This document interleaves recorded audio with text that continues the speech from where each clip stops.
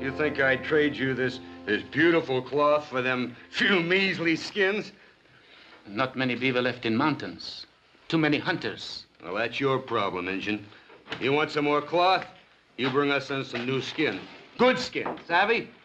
But I told my wife here that I get a new bright cloth. Oh, get out of here. I got no time, no nothing for Injun. Take these skins with you. Oh, wait a minute, Vern. Party's been kind of dull the past couple of days. Well, Brother Mike, you found some more booze, huh? Yeah, I found some more booze. We go now. Oh, what's your hurry, friend? You can have all the cloth you want. Just give us some good pelts and we'll keep your scores till you bring them in. No. These wives. I don't care what they are. We'll just hold on to them till you bring in the pelts, huh? No, Mr. Wilson!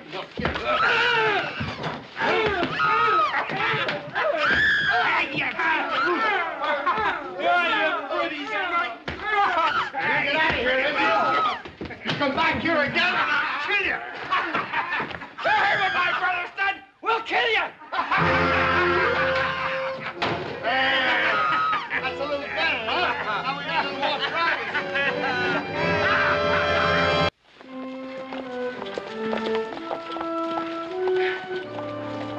Now, you boys have a good time in San Francisco.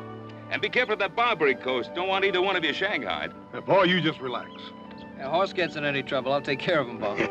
Oh, oh, you just make sure one of those spangly women don't take care of you.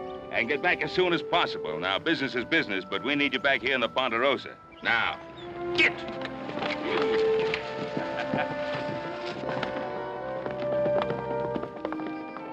Hope they make out. Ah, don't worry, Pa. San Francisco's no worse than Virginia City. Well, I'm gonna check on those new steers down at the bottom camp. I'll see you at dinner. Yeah, well, don't wait for me. I got some business in Virginia City.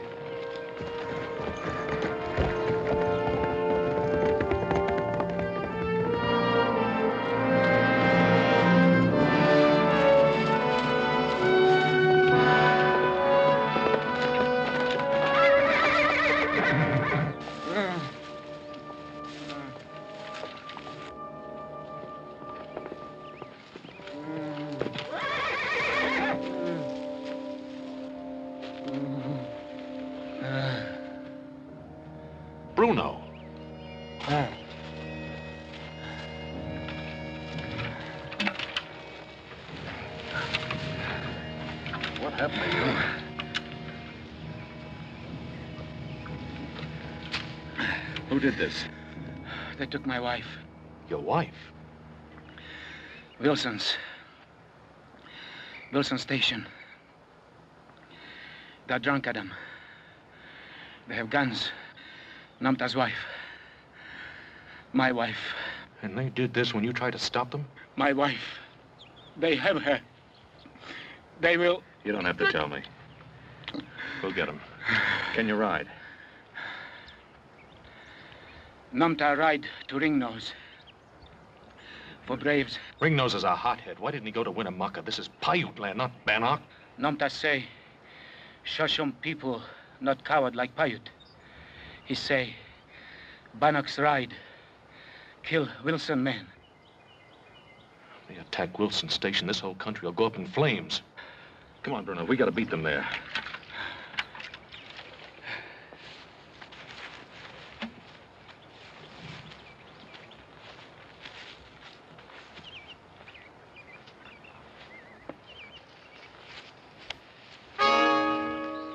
Adam Cartwright.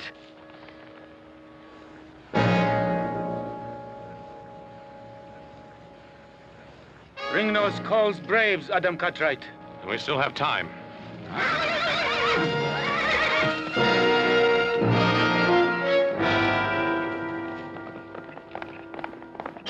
don't know what's the matter with him.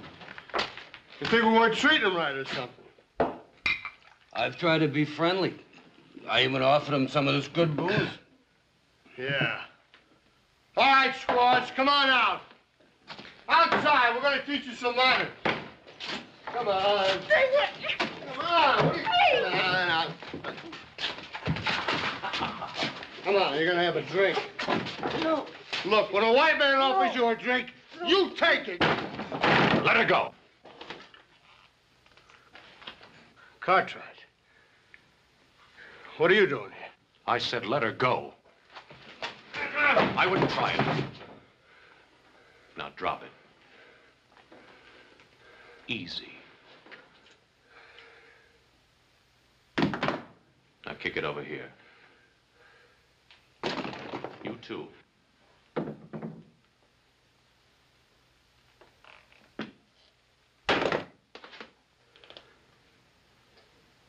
What's all this fuss over a couple of women? Indian women. Bruno, get him back to the Ponderosa. We'll take care of him there.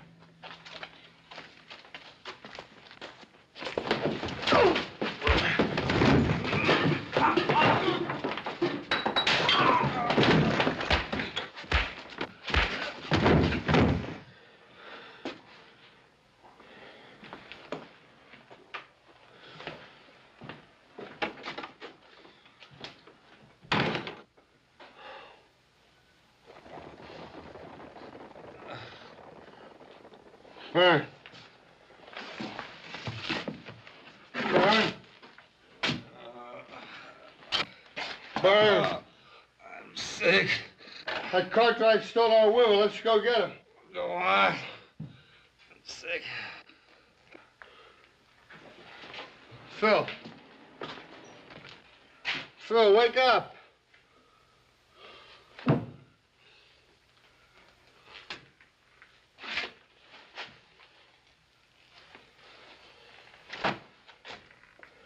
Dirty score stealer. I'll teach him when I get him.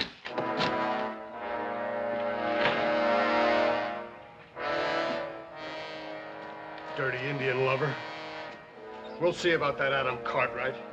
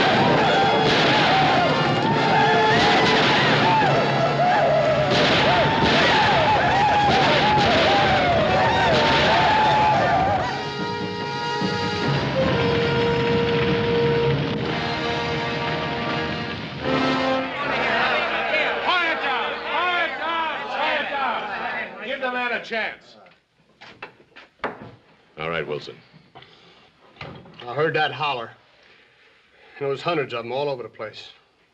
Coming right at me. All painted up and naked. Who was it? Winnemucca? Yeah. Yeah, that's who it was. Winnemucca. Oh, Winnemucca himself. well, I had to get. I started to ride. I saw some of them break in the station and drag out Vern, Phil. I heard him scream. My own brother and my partner. And I couldn't do nothing to help him. It was off. But why? Why Winnemucca? Of all people. Man, them Paiutes are running wild. Killed seven or eight men over in Sun Canyon. Seven or eight men. Do you know who they were? Not all of them, but they flat butchered Joe and Ellie Lawrence right outside their cabin. Killing women. I don't need to know no more. Let's go get them. Hold it! Hold it! I agree. The Paiutes must be punished. If it's war, it's war. But you just can't stampede out the door. We've got to get organized. Maybe you're right, Major. You go ahead and start organizing. Well, I agree. I wasn't a major in the Army for nothing. We'll do this the Army way. We'll get as many men as we can. Oh, we'll get you close to a hundred. Don't reckon we need that many to handle a mangy mess of Paiutes. But anybody who wants to join us, tell them to come along. We'll march at daybreak.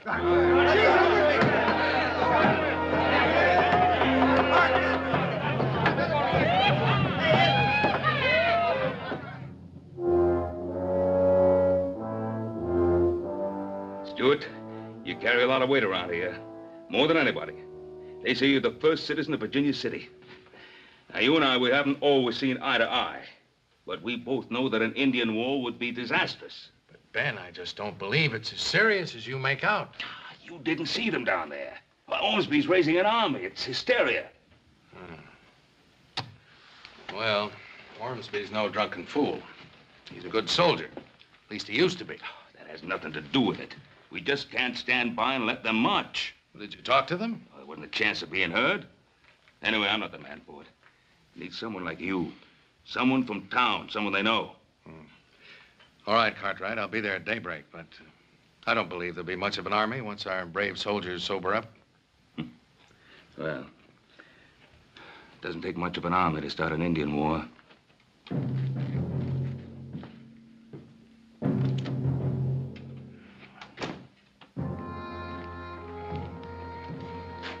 Be all right now. They're in good hands. I think it might be a good idea if you were to stay here tonight. Thank you, Adam Cartwright.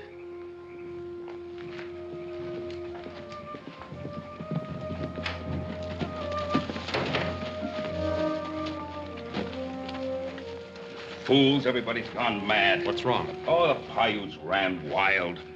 Wiped out Wilson Station, killed seven or eight people in Sun Canyon, and now Virginia City's gathering an army to go after them. Well, it wasn't the Paiutes, it was the Bannocks of the Shoshone tribe, Ringnose's people. What makes you say that? Bruno, Numpta, their wives are inside being cared for. Why, what happened? Uh, Wilson, a drunken brother of his, they held him prisoner and mistreated him. So that's the truth of the matter. Well, why would Wilson accuse the Paiutes for what happened? Shift the blame from himself, protect his own dirty skin. Pal, we can't let him attack Winnemucca and the Paiutes. We gotta stop him tonight. Oh, not tonight. Dozens of them were gathering when I left there. Drunken, loud, boisterous. Nobody could talk to them tonight. What about Bill Stewart? They listen to him. Oh, I've already talked to Stewart. Oh, he'll reason with them in the morning, but we'd better be along, too. Nobody will believe it wasn't the Paiutes. I felt like killing those Wilsons myself when I saw their women. But why did Ringnose have to kill those people on his way back to the mountains? Uh, the primitive people, son. Primitive and proud. Once they've tasted blood.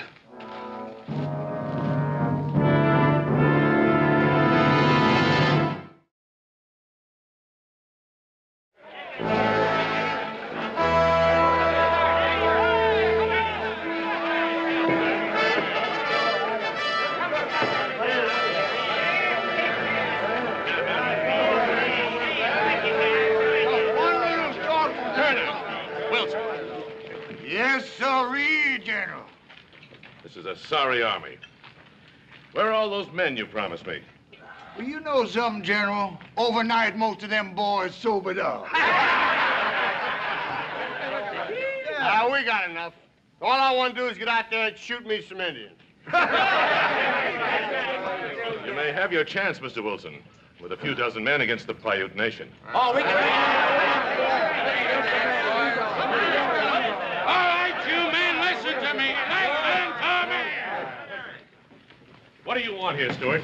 I want to stop you from making fools of yourselves. Ben, ben Cartwright knows Indians better than any man in Nevada. Now, he tells me that the Wilson Station massacre was not done by the Paiutes, but it was done by the Bannocks of the Shoshone tribe higher up in the Sierras. That's a lie.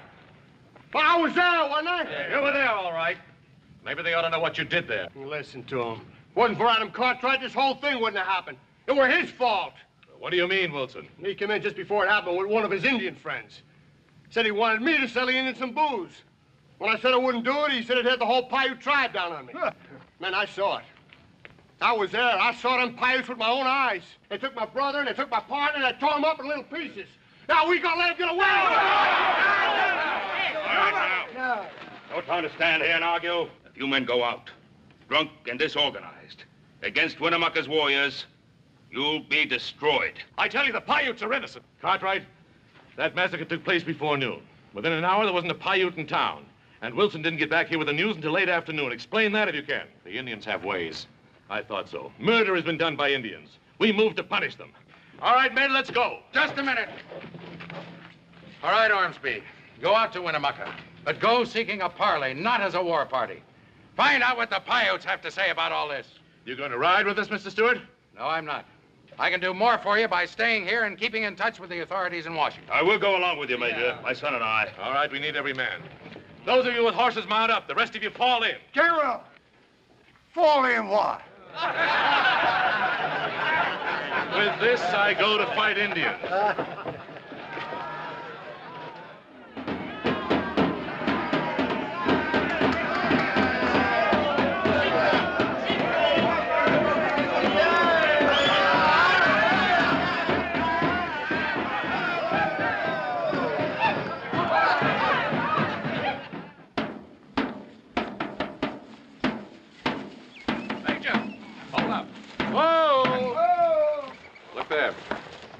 Signal fires. They've heard us coming for miles. Forward! Ho!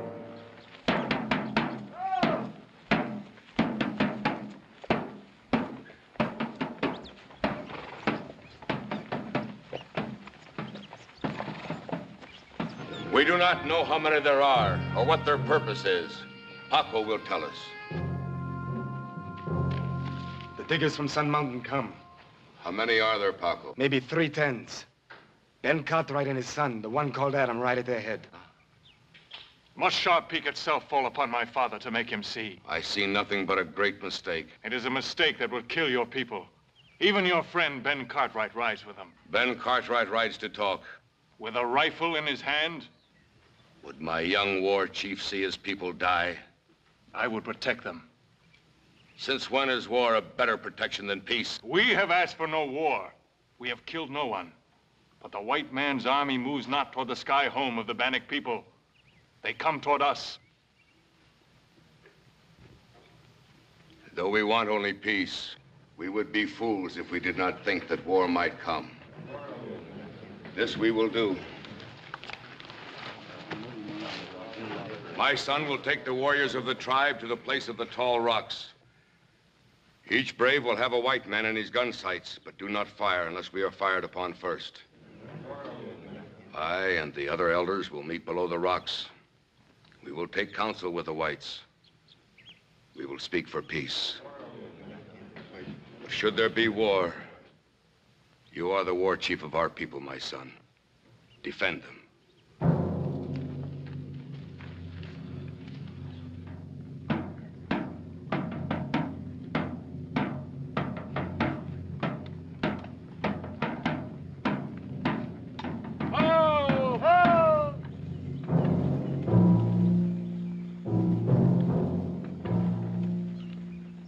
Got a lot of brass.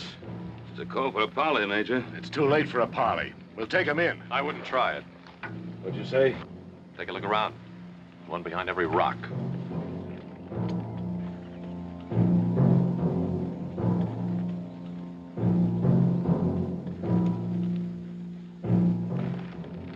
Treacherous devils. What'd you expect, a welcome mat? Come along, Major. We'll parley.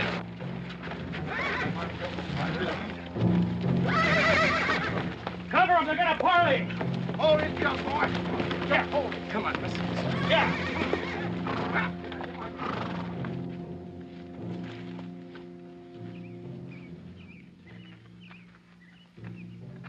It is an evil thing to see Ben Cartwright ride to war. I ride for peace, O Chief of the Paiutes. Then my eyes fail me, for I see men ready for battle. Stop beating around the bush. Now look here and Shut up, Ormsby. You want to get us all killed? The Paiute wants peace. We want peace. Will we talk? We will talk.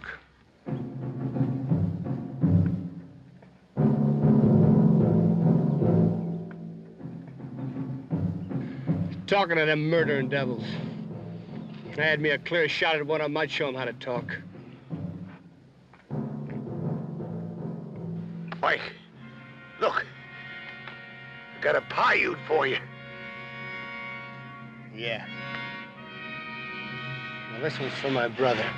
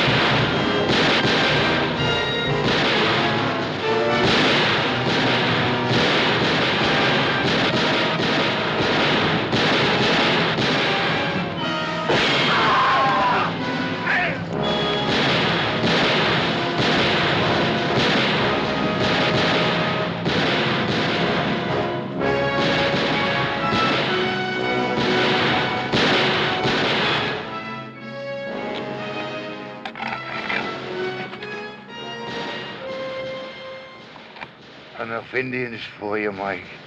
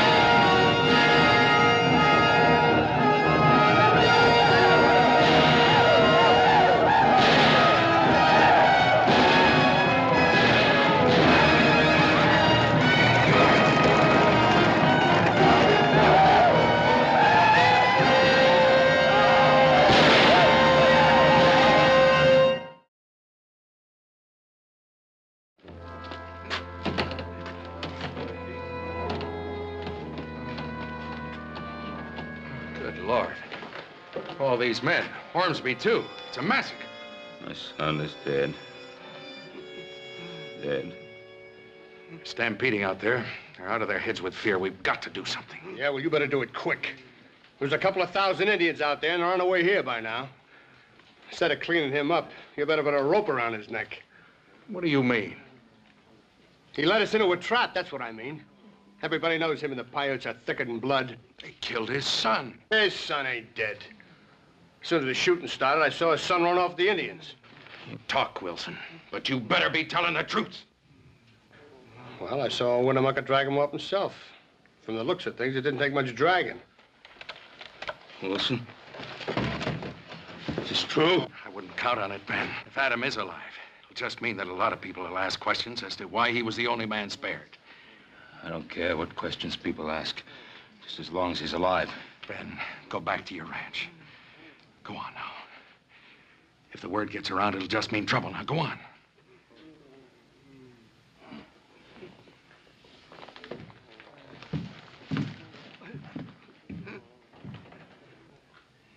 You're letting him get away with murder. Shut up, Wilson. We need help, that's for sure. Charlie Hungerford commands a battalion of militia on the other side of the Sierra at Placerville. Send messengers there. I'll go. All right. You'll send a couple of men along with you. Come up to my office and I'll make out an official request. I know what to tell him. I'd rather put it in writing, if you don't mind.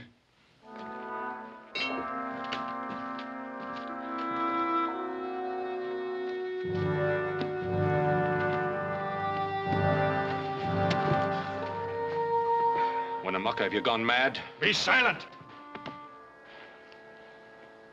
Why does our enemy yet live? There are many weapons.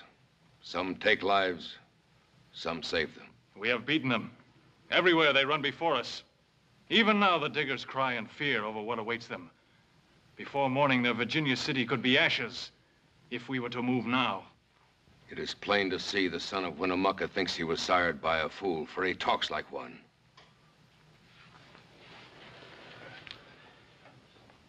Adam Cartwright. But for my hand, you would have long ago have fed the fires. Answer me in truth. If I can. Now that we have beaten them, what will the diggers do? You know that as well as I do. Tell them with your lips. They will send to California. The militia will come. The army. How many? A hundred tens. He lies. Let me kill him now. No! Are you a woman? Did not his father kill Gray Bear before your very eyes? My young wolf grows careless in his howling. Winnemucca, speak to my father. There are men of honor in Virginia City. There can yet be peace. Can there be peace, Adam Cartwright? But there has to be peace. You can't fight the California troops. There is trees on the Ponderosa without number. They cannot fight. Did we not destroy them? Did not the remaining handful run back to their caves like cringing dogs? You fought a bunch of half-drunken miners out on a picnic. A lark. But next time you'll fight soldiers and they'll outnumber you two to one. Tell them, Winnemucca, I speak the truth. He speaks the truth. But Ben Cartwright's words hangs heavy on the ears of the whites. He will stop the army. He can't do that. Only you can. We will send word to him. We will meet him. He will know it from Winnemucca himself. That if the army from California moves on the Paiute Nation, his son will die. Winnemucca has said it. Take him to his tepee.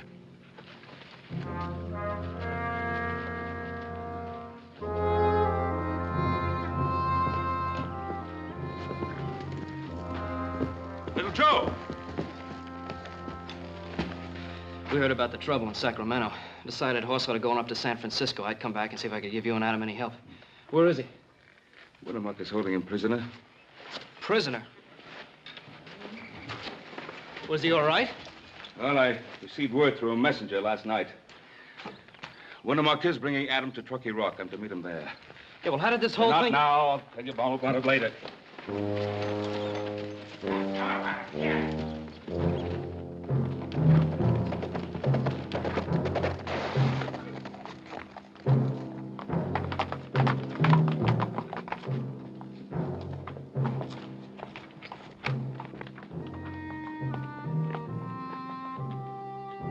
My son?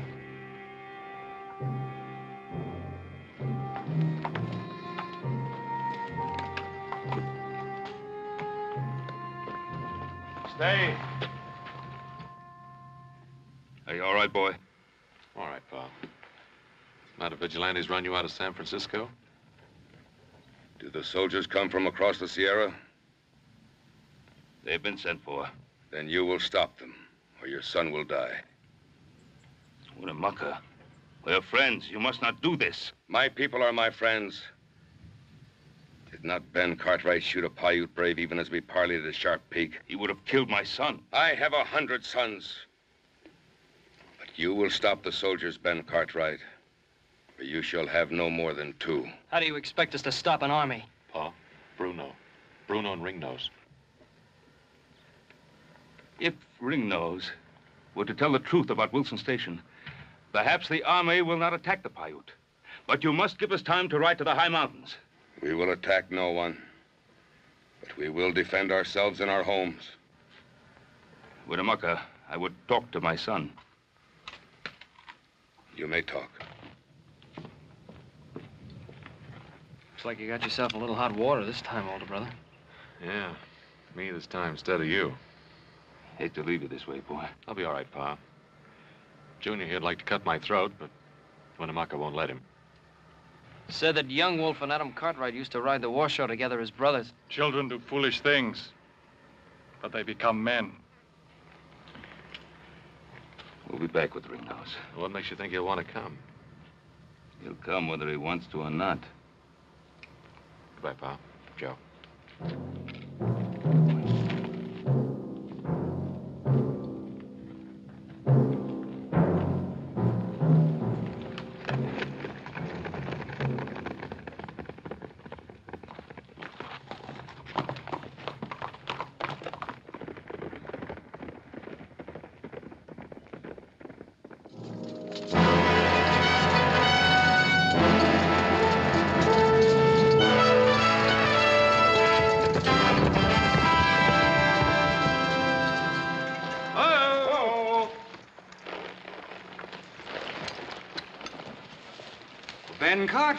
Major Hungerford.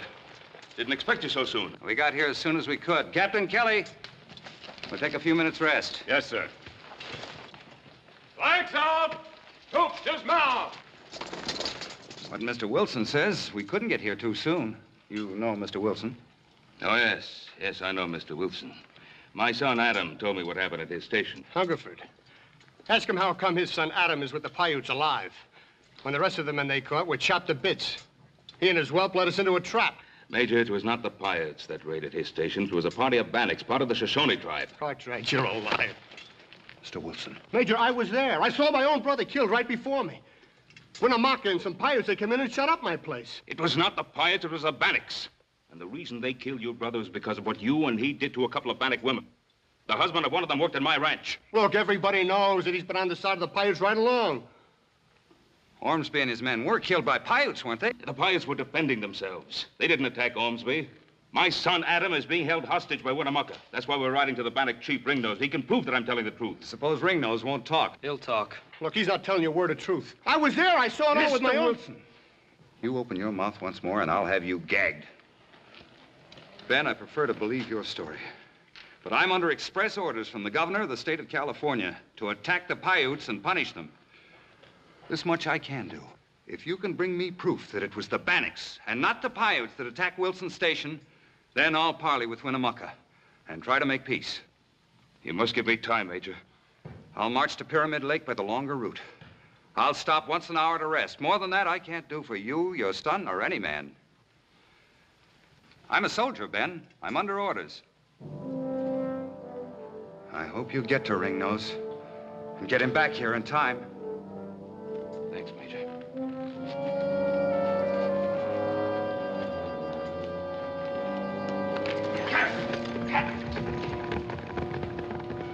You don't believe him, do you? If what he says is true, you'll go back to Sacramento with me, Mr. Wilson.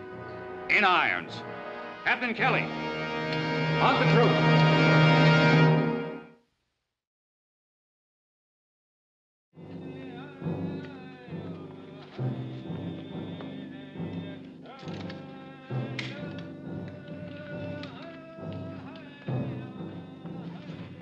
Leave us.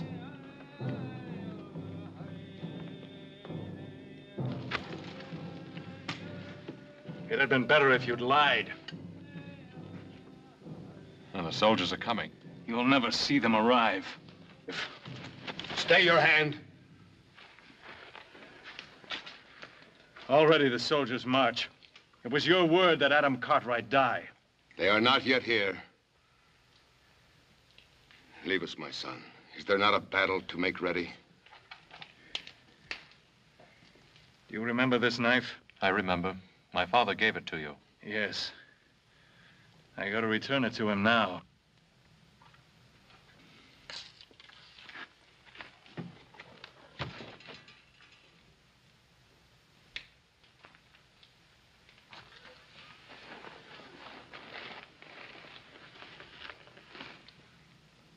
Once the wild bear knew Washoe. Now he is gone. The white man killed him. That is so. And then the antelope, who was the friend of the Paiute. He too is gone. White man kill him. That too is so. And now the great sun of the Paiute weakens. And as it crosses the sky, even today will drop behind the mountains and be gone. Perhaps my father will return in time. The soldiers already march along Chief Truckee's River. Your father's in the land of the Bannocks. I would like to see your father. A man should see his friends on the day of his death.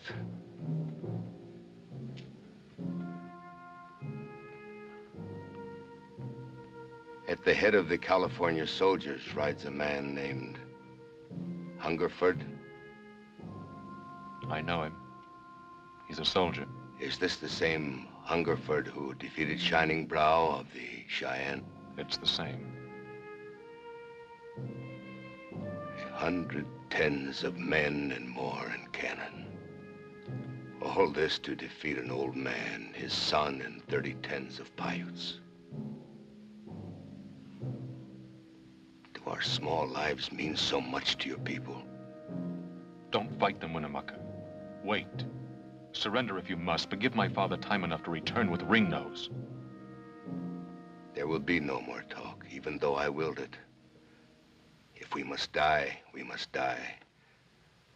For the ways of the wild things are the Paiutes' ways, and the wild things too are dead. I am sorry for you, Adam Cartwright, for you are a friend and the son of a friend. But the first shot that is fired by the California soldiers will be a signal to my son. And you will die.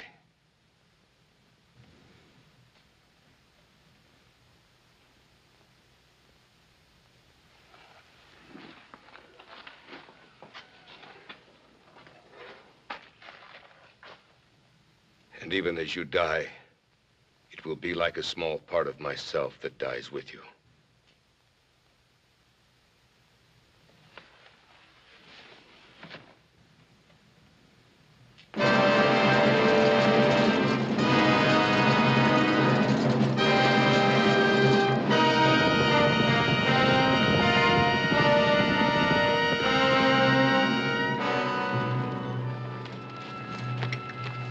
We would talk with Ringnose.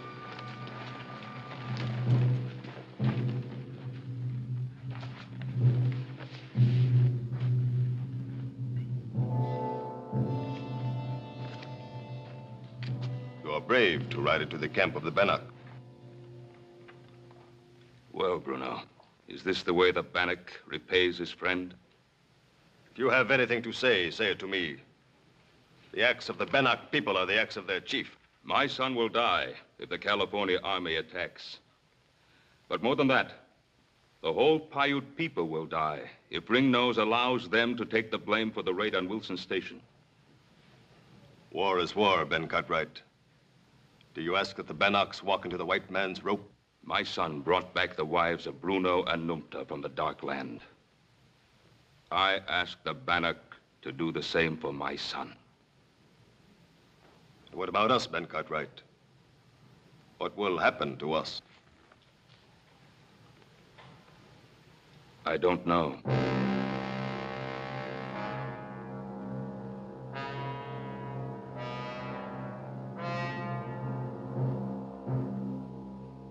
Debt must be paid.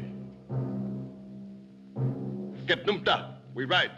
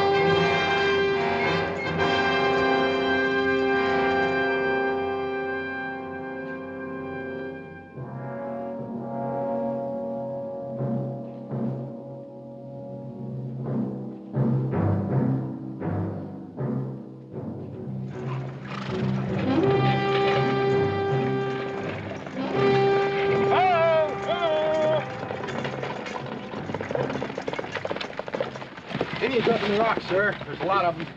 Mr. Kelly. Yes, sir. Any sign of Ben Cartwright? No, sir. The rear guard is looking for him. Well, we can't delay any longer. Have the men from Fort Alcatraz cut around to the high ground. I want a flanking fire on the Indians. Have Sergeant O'Banion move his field piece to the high ground on the other flank. Deploy your companies on both sides of the trail as foragers. Send the bugler to me. You'll advance at my command. Return fire if fired upon, but otherwise let no man fire without orders. Move your men out. Very good, sir. Sergeant O'Banion, move your field piece to the high ground. First platoon, give him support to his position. Then dismount and form his forages. Do not fire unless fired upon. Move them out, Sergeant. Yes, sir. First platoon, forward! Yo!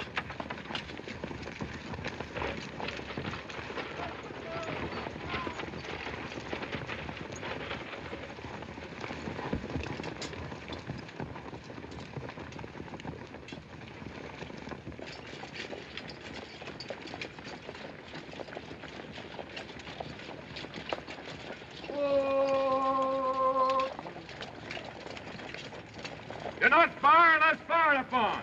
Dismount and form his forages. Carry out the order. It's fire!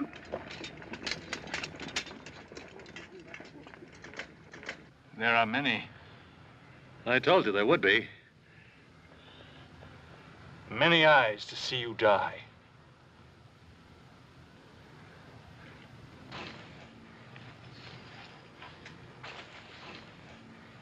Get your interval. Corporal Hollister, throw your men on the high ground to the right of that big rock. Carry on. Follow me. Come on, men. Form is falling. Fall in. Come on, fall on with him there. Up here. Hurry up, hurry up. Fall in. Take an interval. Take your interval, men. Form is foragers. Come on, men. Form is falling. Fall in. Come on, fall on with him there. Up here. Hurry up, hurry up. Fall in. All ready, sir. Very good, Captain Kelly. Form is foragers.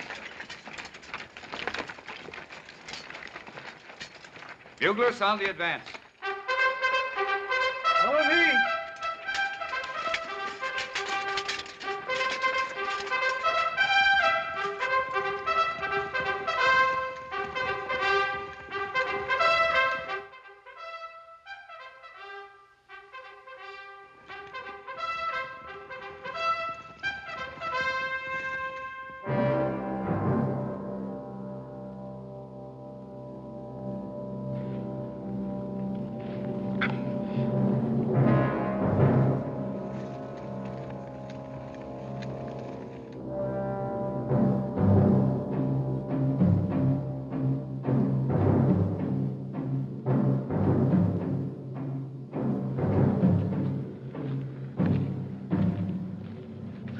Stand on the rock.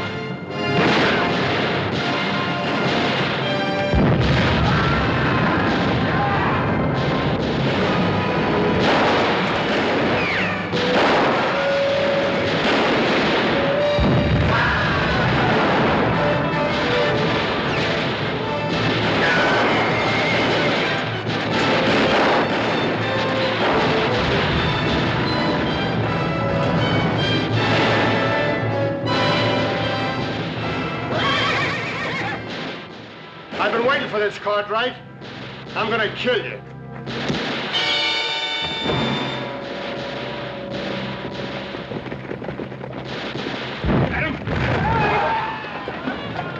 Adam, you all right? I'm all right. Pal, we gotta stop him.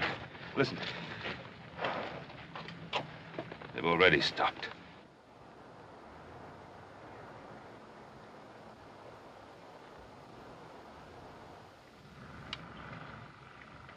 Help us, what have we done?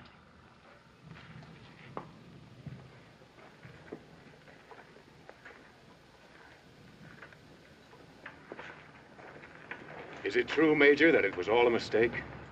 Yes, Captain Kelly, it's true. Then I'd better not tell the men. You tell them, Mr. Kelly, loud and clear. I want every one of them to know what happened here today and why it happened. Yes, sir. What about the Bannocks?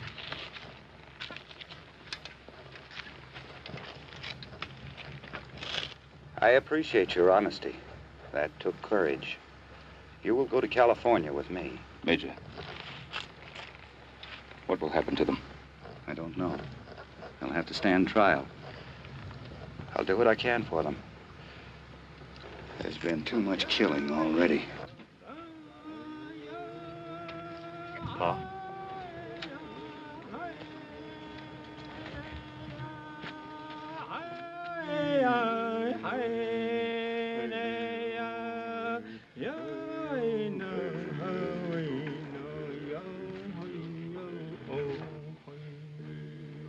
Winnemucca. Your son lives. We mourn your dead son. I do not mourn for my son. I mourn for all my sons.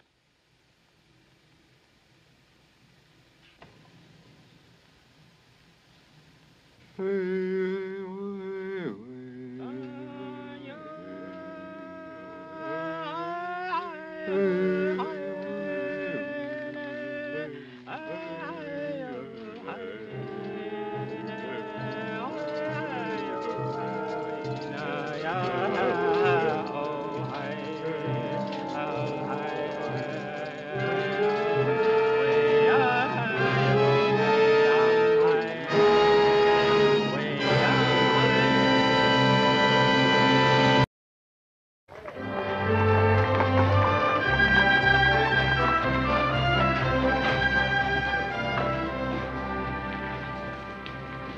Marshal. Morning. Just tell me where I can find the offices of your newspaper. Turn at the first street, about a half a block down. You can't miss it. Thank you kindly. Hey, here, can I help you? Hey, the boy needs a hand. Oh, the Cartwrights can take care of themselves. Well, sounds like he's getting the worst of it. Yeah, sounds like he is.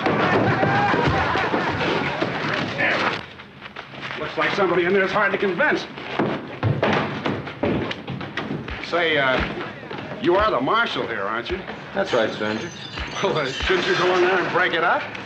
Reckon not. People in this town mind their own business. No business in that poker game. Look, I told you to stay out of it. Listen, little Joe. Pa told me to take care of you, and that's exactly what I aim to do. Okay, well, I can take care of myself. Little Joe, you get up on that pony right now, or else I'm just going to naturally clobber you.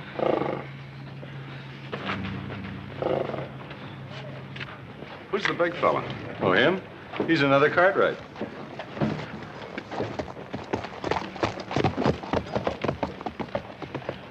I'm new in Virginia City.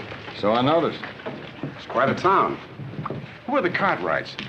Oh, I reckon you'll find that out soon enough. I haven't asked you who you are, have I? Oh, that's right, you haven't. Maybe you shouldn't ask so many questions. Like I said, this is the kind of town where folks mind their own business.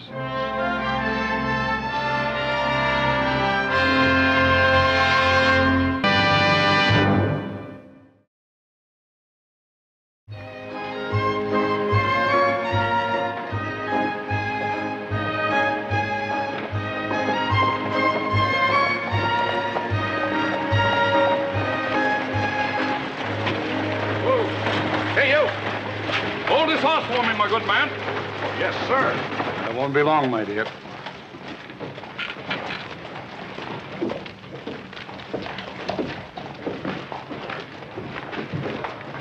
Mind telling me whose uh, horse I'm holding, man? Well, you haven't been around Virginia City very long. A couple of hours, that's all.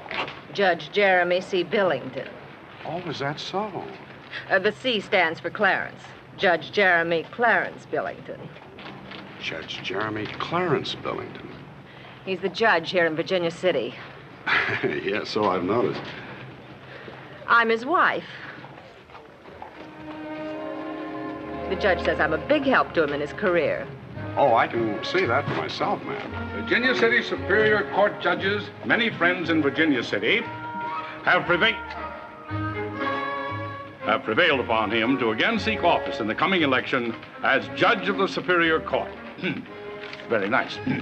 There you are, my good man. Oh, thank you, sir. Thank you. Many?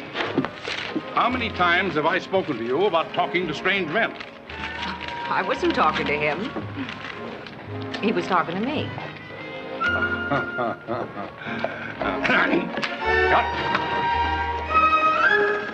If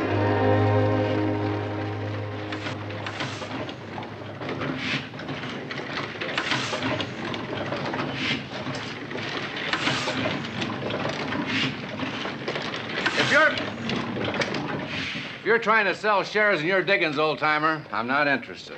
Well, as a matter of fact, you're looking at the most unsuccessful prospector that ever blistered his hands on a pick handle. And what brings you to a newspaper office? Your letter offering me a job. What's your name, friend? Sam Clemens. Sam Clemens. Well, I figured as long as I was starving, I might as well do it sitting on my backside at a job I know something about. You didn't strike it rich, huh? Good looking press. No, all I did was prove how little an Eastern Tenderfoot knows about mining. Sam, it's good to see you. And I think you're going to like Virginia City. Well, I've been uh, studying some of the people. Uh, how often do you publish? Every day. Every day? A little one horse town 2,000 miles west of the Mississippi? Sam, the way we see it, the Mississippi's 2,000 miles east of Virginia City. Sam, you're looking at the only Bible the miners around here have any time to read. What if they can't read? Then they get someone who can read it to them. I like that. I think I'm going to like this town. It's a city, Virginia City. Virginia City. A noisy, rough lady with a lot of pride. I think I'm going to like her.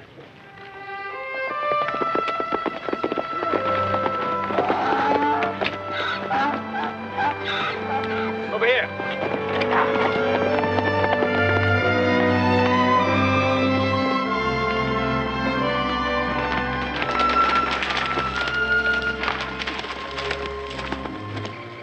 Old man? Just eating my supper. You mean drinking it, don't you? You be mighty careful of that campfire. As soon as you get through eating, you clear out of here. I mean to, mister. Hey, we got a lot of cattle here on the Ponderosa. That fire got out of control, we'd be in trouble. Reckon I know that. Anyhow, I'm just passing through. Well, the next time you just go around, you hear? Come on.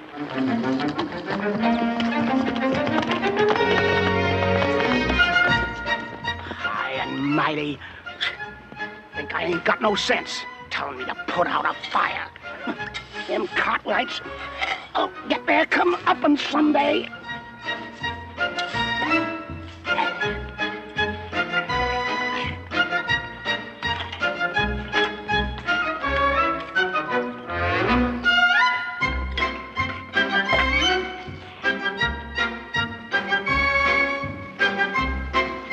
Must be the spirit of some engine come back to Earth. Come on, Mule. Let's get out of here.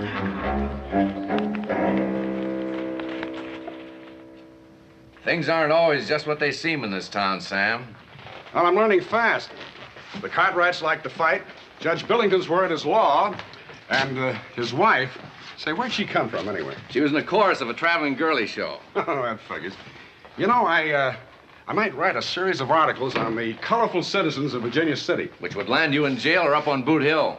Well, let's get back to paper. Right.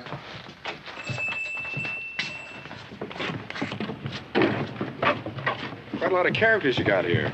What kind of things they like to read? Well, anything as long as you keep it humorous. These men see death and disaster in the mines every day. They want to read something that'll make them laugh. And make them forget that maybe tomorrow they'll be dead or broke or both. That's right.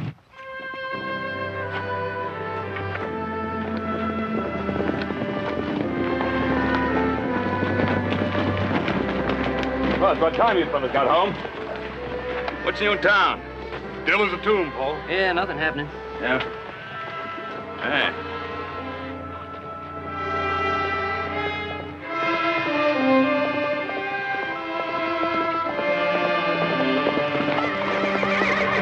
Bunch of men camped High Valley. What are they doing there? I don't know. Let's find out. All right, come on, let's go.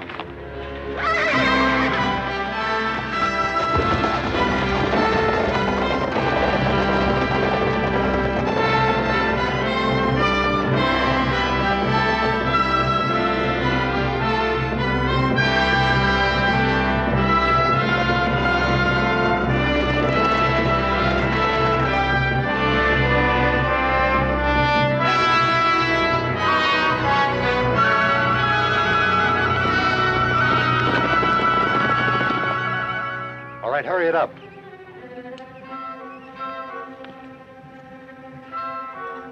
Here they come. Get that stuff in the wagon, quick.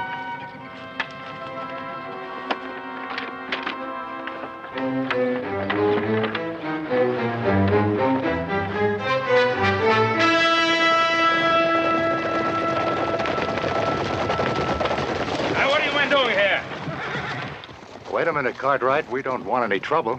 You're trespassing on private property, mister. Well, you fellas own so much land around here, it's kind of hard to figure where your property ends and the rest of the world begins. Well, if you have any trouble figuring it, mister, we'll be happy to oblige you. Oh, we're pulling out. Uh, what were you doing here in the first place? Doing a little sightseeing. Thought one day you might want to sell off some of this land. What have you got in the wagon? Just some prospecting equipment. Uh, let's not hold them up, boys. The man said they were moving on. The next time you uh, you want to know where the rest of the world begins, you might try asking. Come on up.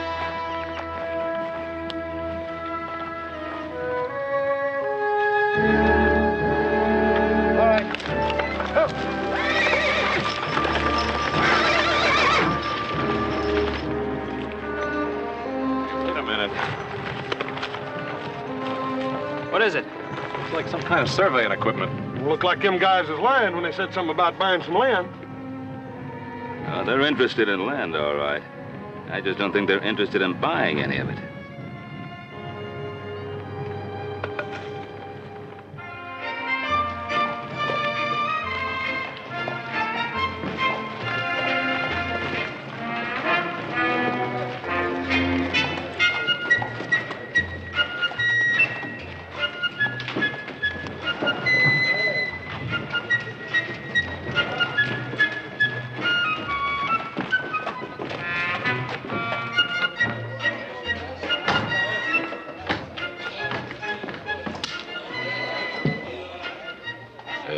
Drinks at two bits, old timer. Oh, uh, uh, half a drink, maybe?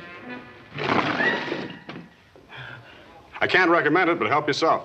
Oh, oh, thank you. That's mighty sociable of you, stranger. Mighty sociable. I, uh, I don't know you, do I? Nope. Then uh, how come you? Well, uh, let's just say that today I'm filled with the milk of human kindness.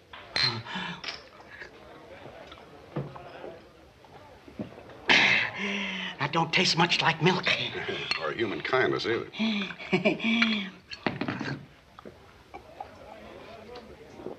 I, I sure needed that one.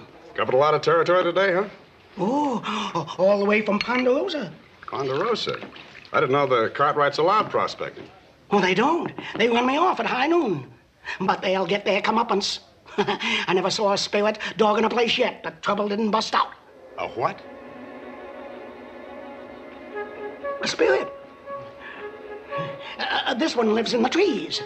It, uh, it come out and watched me all the time I was fixing to leave. Uh, who watched you? The, the spirit. uh, And uh, what did the spirit look like? Oh, oh, it was, uh, it was big and black and active as two tomcats on a back fence. How big? Well, uh, it could have been about 10 foot, maybe. Maybe even more? Oh, uh, could have been uh, uh, 15 or 20 foot, maybe. And wild, huh? Oh, wildest thing you ever saw. Wilder than a warshoe zephyr. It flit from tree to tree with a manzanita bush in each hand and a wagon tongue in his mouth. 20 feet tall. That's what I call a man-sized spirit.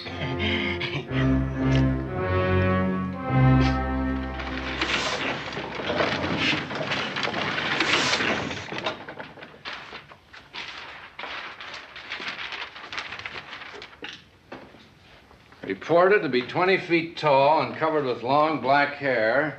The wild man is said to flit from tree to tree carrying off cattle and picking his teeth with a wagon tongue. By all that's wonderful, whatever inspired this? Well, you said your readers liked a few laughs. Just so no one questions your sources. Well, I admit it's secondhand reporting, but uh, my source was pretty reliable. That is until he had a couple of drinks under his belt, and then he uh, tended to exaggerate. Well, it's plain enough to see what they were up to. You follow High Valley, bridge the Truckee, and drop down the west slope. A natural route for cutting a road right through our property. Yeah, road or railroad. They intended to sneak in, make their survey, and sneak out before anybody ever saw them. Well, the question is, why and for whom? Ah. Come quick! Come quick! Too many Oh, people! Hop Sing. People everywhere! All over Ponderosa! Hop Sing, you got a bigger imagination. Hey, Pa, you and Adam better get out of here. There's people all over the place. They come to see the wild man. What? What wild man? Look, right here in the Enterprise. Wild man of Washoe, loose on Ponder. Now, what fool put a thing like that in the paper? Well, there's the name of the man who wrote it, Josh. Sam, take a look at this telegram. The San Francisco Bugle. Confirm wild man story. Flooded with inquiries. Big city newspaper, too. Uh, which one of you fellows is Josh? Oh, that's sort of a pen name I use. Uh, did you uh, write this? The Wild Man story? Yeah, sure I did. How'd you like it, Mr. Uh, I'm sorry, I didn't get your name. Uh, Cartwright. Adam Cartwright. Uh, I'm Sam Clemens. Uh, I haven't been in Virginia City very long. Then I'm afraid you're not going to be around very much longer, Mr. Clemens. You see, this little uh, contribution to literature uh, brought 500 people tramping across the Ponderosa this morning. As many as that? Yes, they uh, ruined the field of hay and scared the wits out of a herd of cows. Uh, we had to rescue four of them out of the duck pond, and my people are still trying to round up the rest of them. Well, it was just a bit of sagebrush humor. We, we had no idea folks would take it seriously. Yes. Well, I want a retraction of the uh, wild man story to keep these fools off our land. Well, I'm, a, I'm afraid that's uh, kind of hard to do, Mr. Cartwright. You see, uh, I got the story from a very reliable source. Then you leave me no choice. I presume you know how to handle a gun. Oh, now, hold on, Mr. Cartwright. Uh, I haven't got any gun. Uh, maybe you're pretty good with your fists, huh? Why, sure. Uh, when I was uh, steamboating on the Mississippi, the fellow didn't like me very much. We had quite a fight until I tripped over a rope. Of course, he outweighed me about five pounds. Uh, come to think of it, uh, I sort of hate to mess up these new clothes I just bought. Couldn't we uh, settle this a little more peaceably? Are you trying to make a fool out of me? Now, I want that retraction in tomorrow's newspaper. Well, you're making this a little difficult. Uh, you see, the Enterprise never apologizes for stories it prints. It's uh, kind of a policy. I see. Well, maybe I can help change that policy.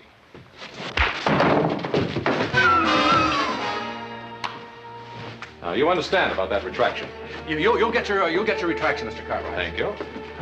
You all right, Sam? Whew. I kind of like those Cartwrights.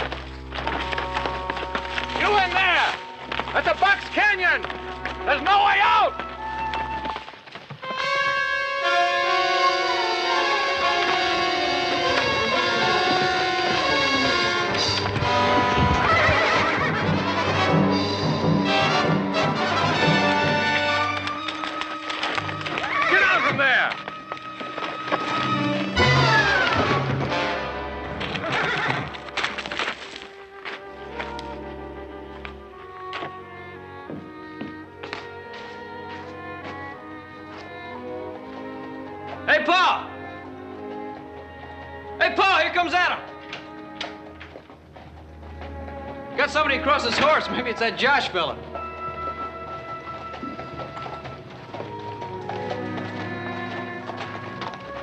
Who've you got there? Found this boy roaming the hills. Is he all right? He's all right. Take him in the wash house. Let Hop Sing wash him up. Come on. Seems to me this Josh fella had you buffaloed, Adam. Well, what are you going to do when a man won't fight? What kind of a man is he? A coward? I don't know. Anyway, he promised to print a retraction. Well, I certainly hope he does. I don't want some fool reporter printing stories that'll send more people out here. It's hard enough as it is to keep an eye out for strangers. Now, listen, boys, I want you to be careful. Don't ride out by yourselves anymore. If someone is going to pull a land grab on us, they can't hide their hand much longer. 日做工天光做到黑，跟住有时候做啲咁嘅事群啊，合成 quit too much of foolishment. What's the matter with you? Work hard, make a fine supper, wash a dish. No time for foolishment. Now, just settle down, Hop Sing. We got enough trouble around here already. You got trouble. Hop Sing got the foolishment. Give a boy, you say wash up clean? Boy? Ain't no boy around here. Oh, Adam found some lad wandering around. Well, what'd you do with him, Hop Sing? Him no boy, him girl. What? You go look see, please. Well, Adam, if you don't know a boy from a girl. Shut up. Where is he? I mean, she. Still in the wash house. Well, bring her in here. No can do, boss. Burn up clothes. All very bad shape. You know, I think I better see what I can do about this. Maybe you just better stay right where you are.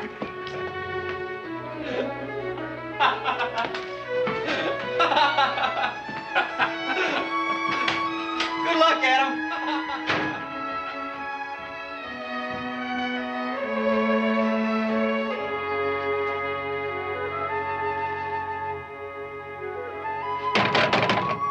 You in there! Put this on and come on out. I tell you, I found her in the brush, and that's all I know. Yeah, well, you should have asked me, Adam. I could have told you it was a girl. What are we gonna do with her? Oh, we'll get rid of her. This way, Missy.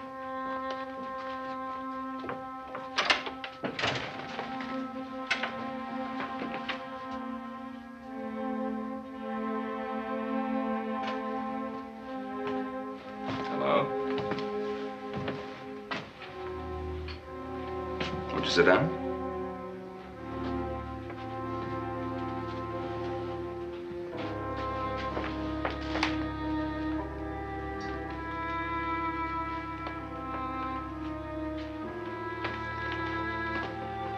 What's your name, child?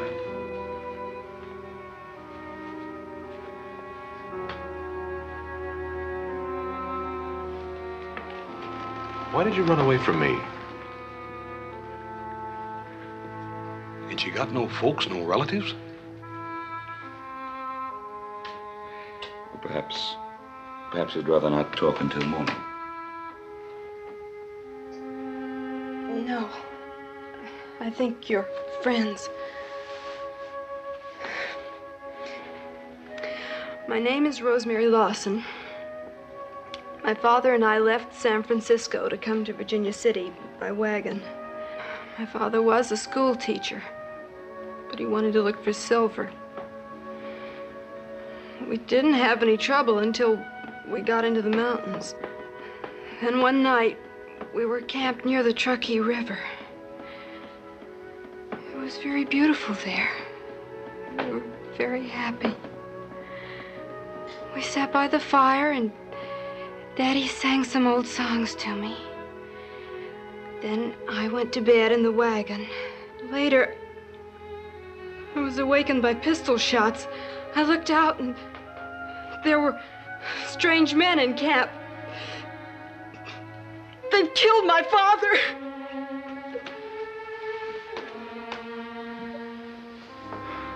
Um, I think you've uh, you've talked enough for tonight, Rosemary. Perhaps see, see that you get some hot food and uh, prepare that room at the end of the bunkhouse.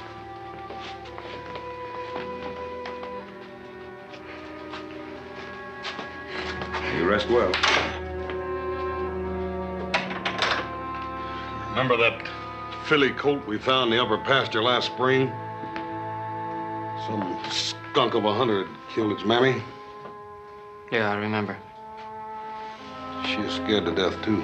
It took us all day long to run her down. They did more to her than kill her father.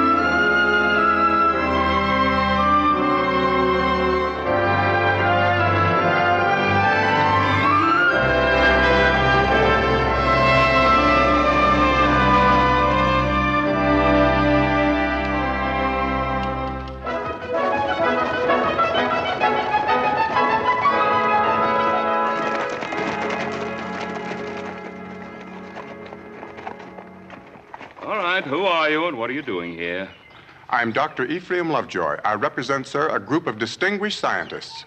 Scientists? Adam, what's in that wagon? Some kind of steel hooks. Grappling hooks. I'm going to fish for the body in the lake. The body?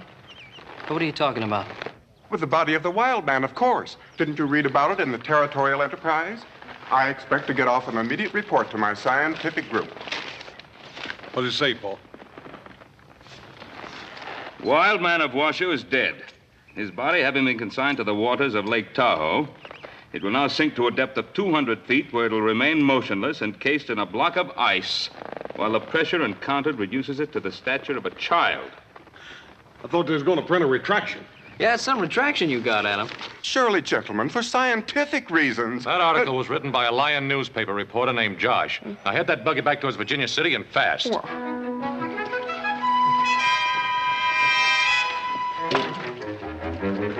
And put out the fire.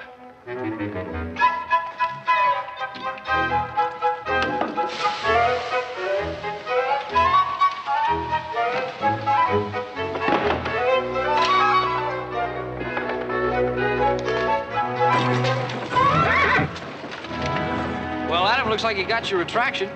Josh killed off the wild man. Well, the next time I'm in town, I think I'll pay this Josh fellow a little visit.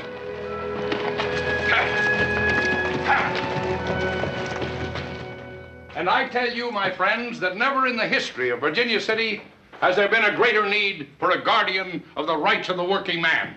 The miners who are putting the name Virginia City on the map. And those rights will be guarded. Now then, gentlemen, step up to the bar. The drinks are on me. That's right, Drink up, boys. It's on the judge. Yes, sir. There's two ways of winning an election. One's by going around making speeches, and the other's by sitting still and making friends. Friend, here's mud in your eye. Well, I remember you. And I remember you, Mrs. Billington. Friend, see you on election day.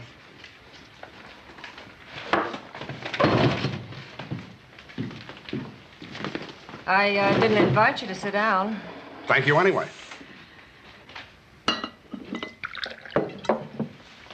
You're a very good health man. And to the election of Jeremy C. Billington. You didn't come here to buy my vote. Well, he's the best man, isn't he? And what I always say, let the best man win. Don't you worry about it. My husband always wins. You know, uh, Mrs. Billington, it's a funny thing about elections and contests of any kind. You never really know how they're going to work out. Now, back a couple of months ago, I was in California, a place called Calaveras County, and the folks there seemed to think that they wanted to hold a sort of a, a little uh, frog jumping contest. Yeah, I heard about it. You're the fellow thinks up all that junk. Signs himself Josh. Well, I uh, wouldn't exactly call it junk, ma'am. All right, what would you call it? Well, uh, I'd call it some uh, pretty fancy writing. Take my word for it, it's junk. Well, maybe you're right at that. A smart fella like you shouldn't ought to be wasting his time writing. Or any other kind of silly stuff like that. Well, uh, what should I ought to do? You see, I, I tried prospecting. I couldn't make a dime. Prospecting. That's almost as bad as writing. There's a lot better ways of making a pile than going out in the hills digging for it. Yes, I guess there are. Now, you take politics. There's a big future in politics. Well, there, there has been one for the last uh, 5,000 years. No, I mean right here in Nevada. A fella like you could go places in Nevada. Well, you see, there are a few places I'd rather see first. Well, what kind of places you talking about?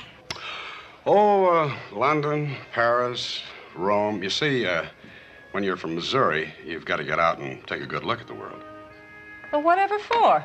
Oh, to understand the, your own hometown, the friends you had when you were a child, sailing down the, the Mississippi in a raft, and, oh, you know, all kinds of junk like that. Believe me, you won't make a dime doing that either. The money's out here in Nevada. Like uh, when you get elected judge. What's wrong with being elected judge? Oh, nothing, except the way it's done. You may be able to buy some votes with us, but uh, you won't be able to buy what we print in the Enterprise. One way or another, my husband's going to be elected judge. Isn't that uh, sort of up to the voters? Well, I'll uh, see you on election day, ma'am. Oh, and just for the record, Mrs. Billington, I may never make a dime writing all that junk, but uh, here's one vote that's sort of hard to buy, and I uh, like to pay for my own drinks.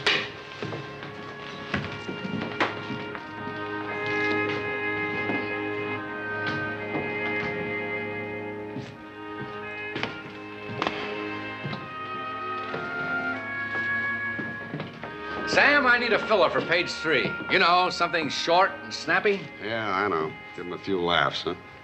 What's eating you? Oh, I don't know, Bill. I guess I'm getting a little tired of writing sagebrush humor. But you write this kind of stuff so well. Well, that's just it. It's, it's stuff. I like humorous writing, but I like to say something along with it. You make the miners laugh. That's the important thing. It is? How about making them think for a change, huh? About what? Well, the election, for instance. About the Right Honorable Jeremy C. Billington. I don't think anybody in Virginia City knows there's another man running for judge. Well, there's Henry Walker, of course. He runs against Jeremy every time and always loses. People are getting pretty used to electing Billington judge, aren't they? Yes, I guess by now they are. Then why is he spending so much money on his campaign this time, hmm? Now that you mention it, it is kind of unusual. Yeah, so are those Paris gowns that Minnie Billington wears. Miners are so busy looking at her low necklines, they forget who's paying for them. Are you afraid the Enterprise won't print any story you happen to dig up? You know, I had a little bet with myself that you'd go along with me. Sam, this is a newspaper, not a comic strip. You come up with a story and an Enterprise will print it. Just as long as I sign it. Just as long as you sign it. All right. Well, let me see.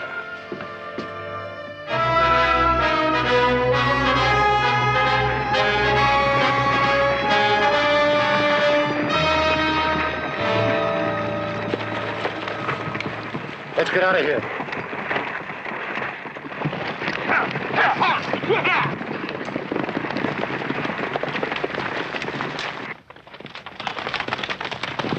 Just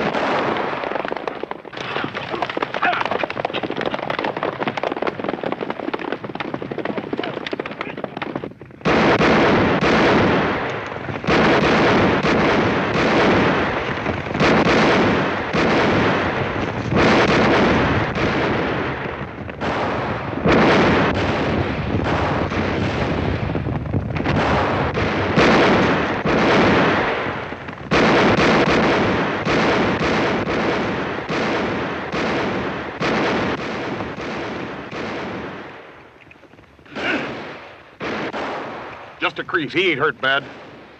You Better have a good story this time, mister. I've got nothing to say. Well, you better think of something. Look, why take it out on me?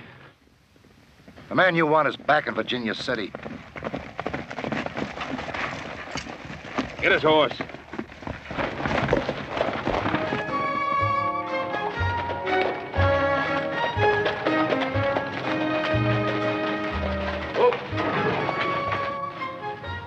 My dear. Today you are the epitome of feminine pulchritude. Don't you talk dirty to me, Jeremy Billington. I won't be long, my dear.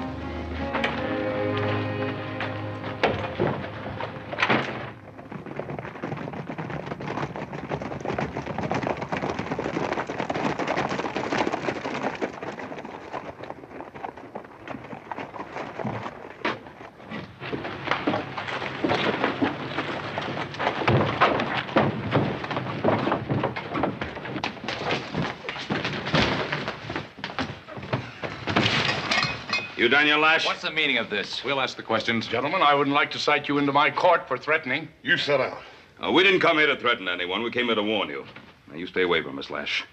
There'll be no land grab in the Ponderosa. Next time your men start shooting at us, we won't be bringing them back to you alive.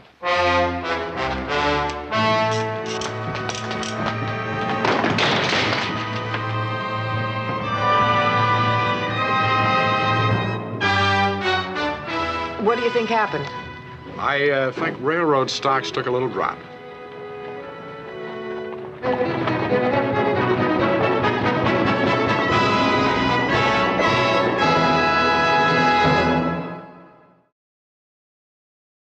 Well, it just doesn't make sense, Pa. Why would they bypass the main railroad line just in order to cut across the Ponderosa? 25,000 acres of prime timber and grazing land, that's reason enough, isn't it? Why, the railroad people could grab that much land just by checkerboarding a right of way across our property. Well, by checkerboarding, they could seal off every other square mile of land. That's right.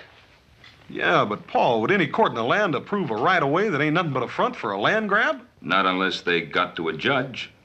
Hey, you mean Judge Billington? I don't think it was any coincidence at all that we found the judge in Lash's office. I wouldn't put it past the old scallywag. Is anything wrong? Hey, Adam. Hey, take a look at what happened to that little boy you found. Well, hey, you sure look pretty. you know, I don't understand how I made such a big mistake. yeah, that Hop Sing's a pretty good outfitter. Oh, he bought a lot more than I need. I don't know how to thank all of you. Somebody come here. Ride up on a mule. That's all we need. Another scientific expedition. Rosemary, let's find out who this is.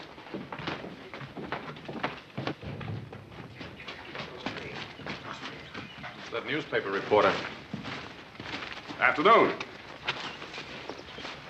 We, uh, we printed the retraction about the wild man. So we noticed. Uh, would you care to meet him? Wouldn't that be a little hard to do? After all, it was uh, just something I sort of dreamed up.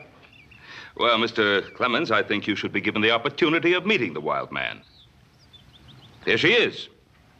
You mean she's. Uh... That's right, Mr. Clemens. There's your wild man. 20 foot tall with a manzanita bush in each hand and a wagon dug in her mouth.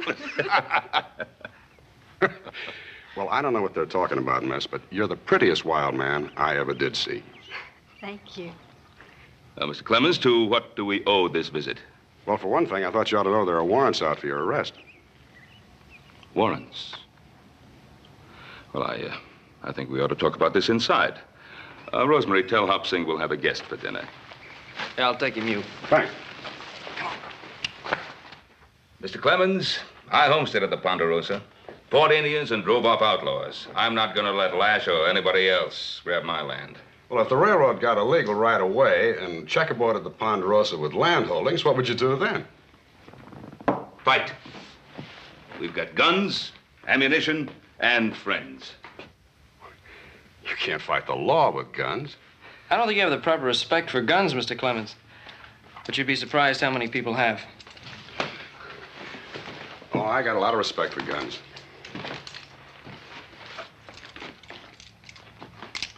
Good balance. The thing is that sometimes you get right smack dab into a fight that you can't settle with guns. Or with uh, fists. That's right. Now, if our hunch is correct, everything depends on defeating Billington in the election so he won't sell out to the railroad. Looks to me like we ought to get started then before the election. you can't defeat a politician with guns, but you might be able to with laughter. You mean laugh him out of town? Something like that. Sometimes the pen is mightier than the sword. Well, I don't know, Mr. Clemens. I think I'd have to put my money on the sword. Yes, up against that crowd, I, I think I'd count on my guns. Oh, wait a minute, boys. Sam, if you want to fight this thing out with your pen, well, that's up to you. But we'll be around with our guns to help you if you need us.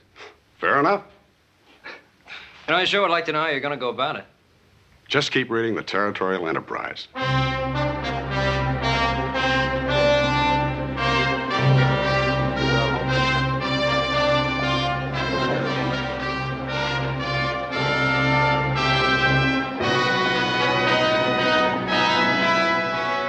Professor Personal Pronoun runs for office in Virginia City by Josh.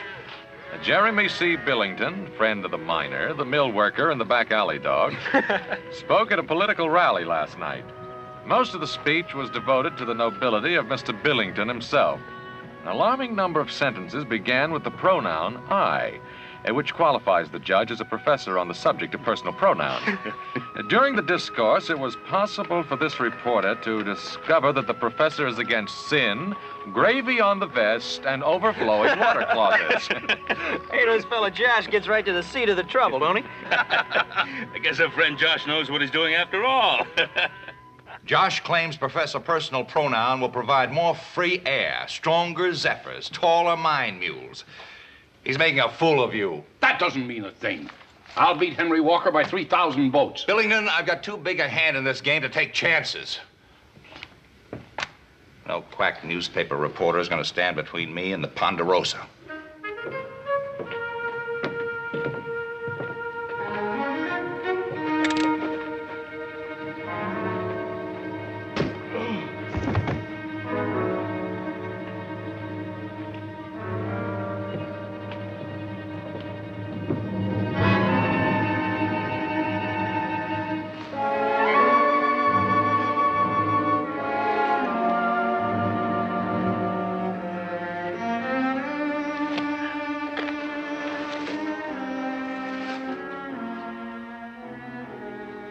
Too bad.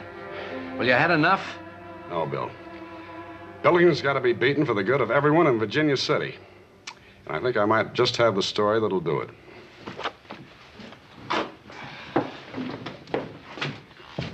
Sam. Sam!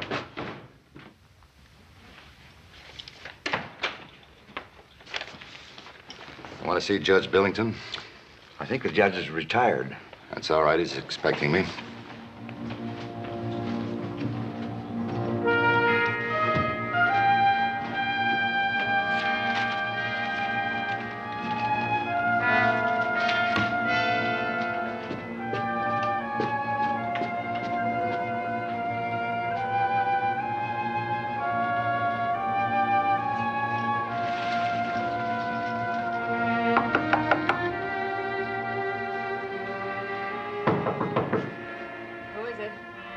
Lasher's office. It's about time. Is it in gold? Yes, it's gold, all right. We had to collect it from one of the gambling places. That's, that's why I was late. Well, let me see it. Let me see it.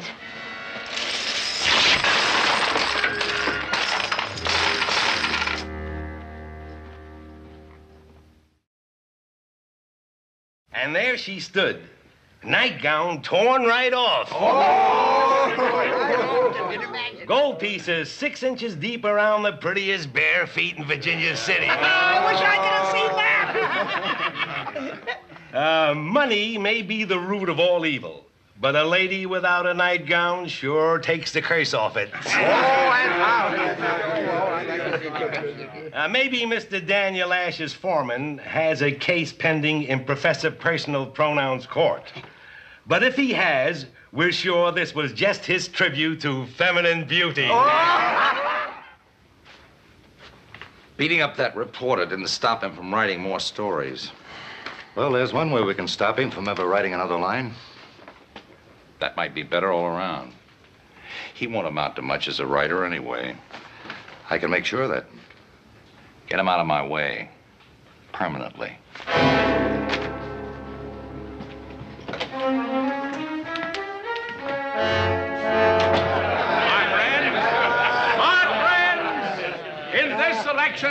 Do not allow yourselves to be tricked by the special interest, spearheaded by a libelous newspaper determined to overthrow the will of the common people.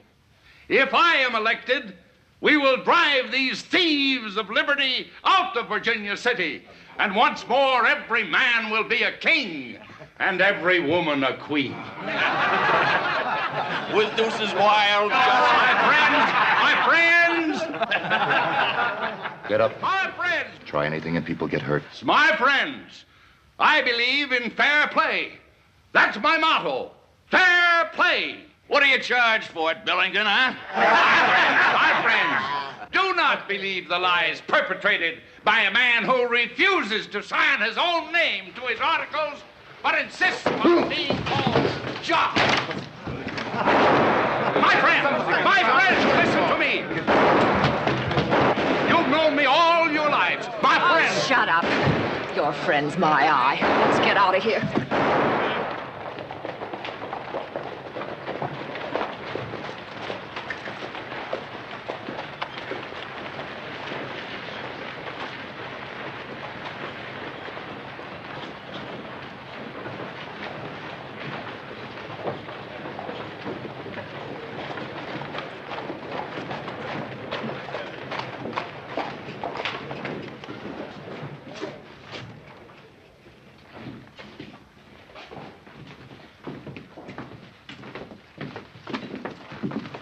Where's Sam Clemens? He's covering the political rally. Aren't you folks taking a big chance coming into town? Well, apparently not as much of a chance as Sam Clemens. We heard he was beaten up. It didn't stop him. He's still going strong. Yeah, well, how long can he keep on taking it?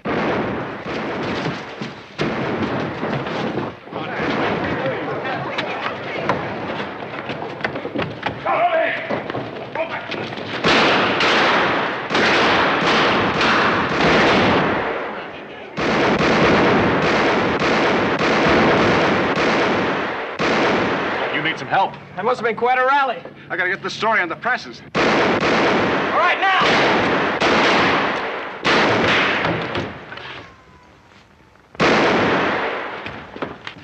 Get this story out. Sounds like you're starting to riot. What happened? Read about it in your next edition. Adam, Joe, you next. Go!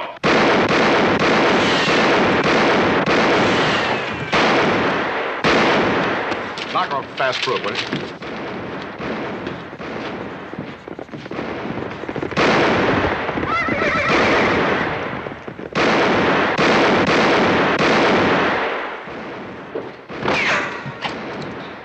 Hey, Josh, I sure am anxious to read that story. Josh. That's what's wrong. What's wrong? I knew it all along. It, just wasn't right. Hey, don't stop writing. Come on, finish it. For Pete's sake, Sam, finish the story.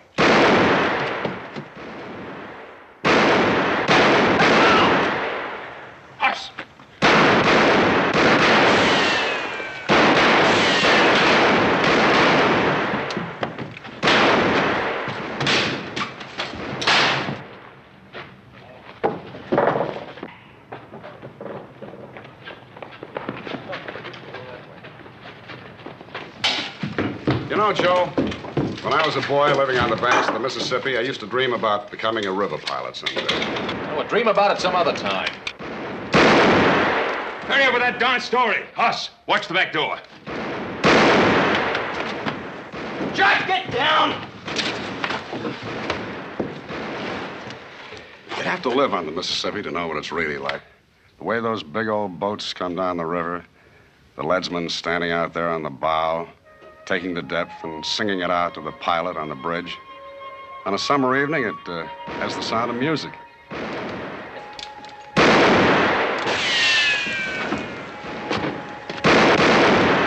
Music. If you don't get that story finished, the only thing you're gonna hear is a funeral march.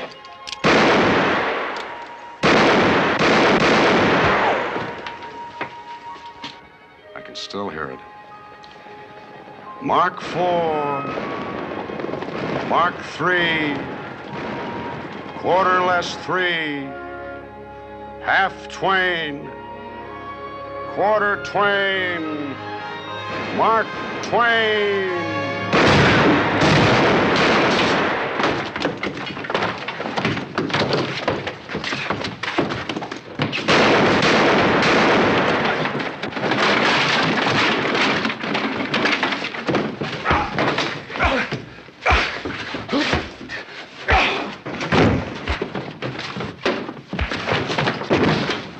Joe, I've got it. You sure almost did get it, Mr. Clemens. No, you don't understand. I mean, I finally found my name. Wait, your name Samuel Clemens? No, Hoss. I mean my pen name. Mark Twain. That means river running clear, two fathoms of water beneath the keel. That's what rivermen call real clear sailing. Everything's pretty clear around here right now, Mr. Clemens. I don't know about that name, Mark Twain. Seemed to me like I've heard a lot better names than that before. You sure that's a fitting name for a writer? I don't know, Hoss. We'll just have to give it a try. You got the finish of that story, Sam? Everything but the byline. Sign it, Mark Twain. Mark Twain. Well, it's better than Josh. Well, what happened to Samuel Clemens? I guess we've seen the last of Sam Clemens. You know something? I like it. Mark Twain. Mark Twain. My this is to go out of town. There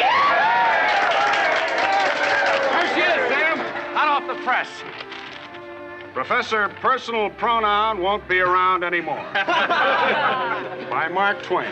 Well, was quite a fight, Sam. Yeah, I guess you were right at that. The pen is mightier than the sword. Anytime you want to visit Virginia City again, you just write us and let us know. And be sure to sign it Mark Twain so we know who it is. Bye, Sam. Bye. I sure will. Bye, Sam. I'll sign it Mark Twain. Thank you. Thank you.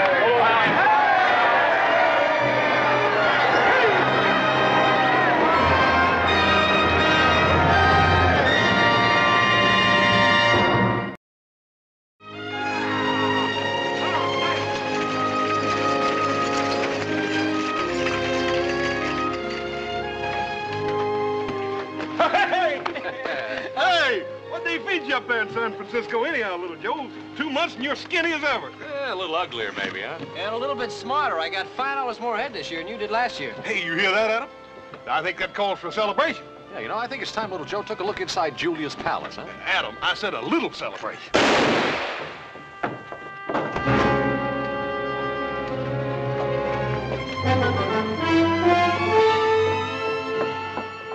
Well, it was a fair fight, at least as fair as it could be with John Mullane. She's not hurt too bad. Come on, let's get him over to Doc Martin's.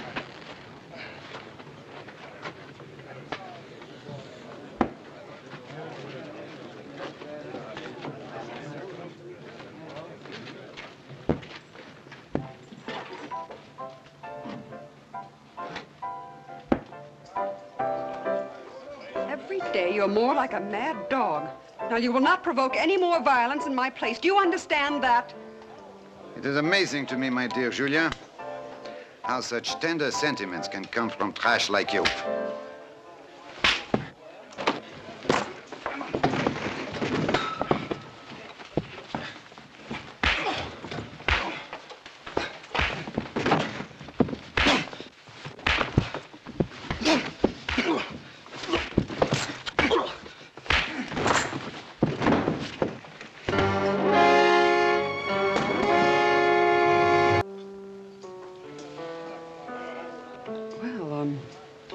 Welcome to Julia's palace, Mr. Um, Cartwright. Joe Cartwright. oh, one of the Cartwrights from the Ponderosa. Yes, ma'am. This is a real nice place you got here. I'm sorry I messed it up. Oh, don't be sorry. After all, you were defending my honor. I've never been here before. Well, you must come back sometime I'd like that. as my guest. I'm Julia Bulette. I'd, like to repay you with uh, dinner here at my place. Tomorrow night? Yes, ma'am. Better get the brandy, Tom. Uh, we are of the same kind, you and I, Julie. Where men are concerned, we are the messengers of destruction. You do it through the heart, I do it with the gun. Does it matter to you which way it happens to this young man? hmm? Pa, you think Julia Bulette might have known my mother? No, I, I don't think that's very likely. Why not? They both lived in New Orleans. Yeah, they might just as well have lived on opposite sides of the world. What do you mean? Yeah, what I've been trying to say is that the only thing that Julia Bulette has in common with your mother, the fact that she's a woman. Yeah, she's the most beautiful woman I've ever seen. Yeah, she's a very beautiful woman. Well, come on, Pa. You better hurry up you want to get to that town meeting on time. Come on.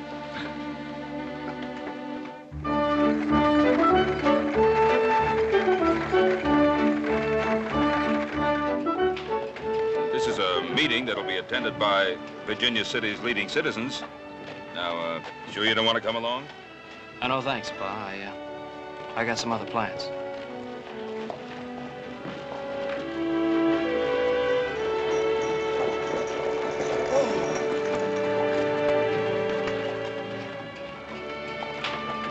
May I? Miss Bulette? Why so formal, Ben? It used to be Julia. Get up. I'm sorry. Shall we go in? Well, I... Oh, yes, I've been asked. My invitation said it was supposed to be a meeting of the leading citizens of Virginia City. What did yours say? Well, uh, mine said the same. Shall we proceed?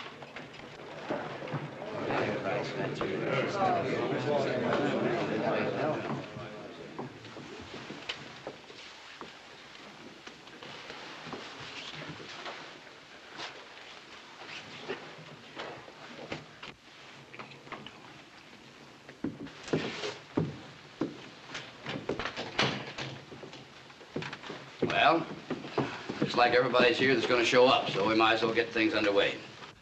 And I guess we all know why we're here, too. Under the ground of Virginia City lies the greatest bonanza of silver known to man.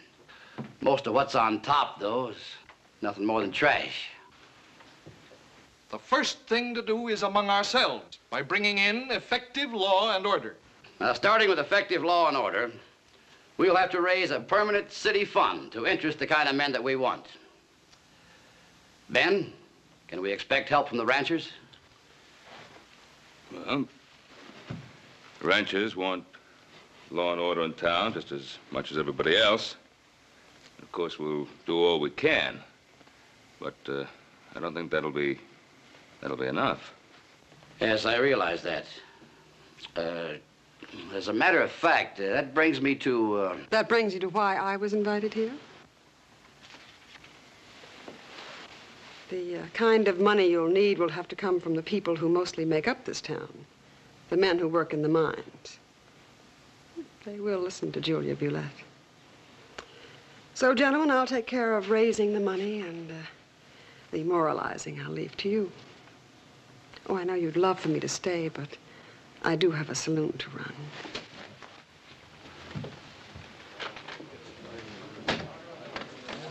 As well as an appointment to keep.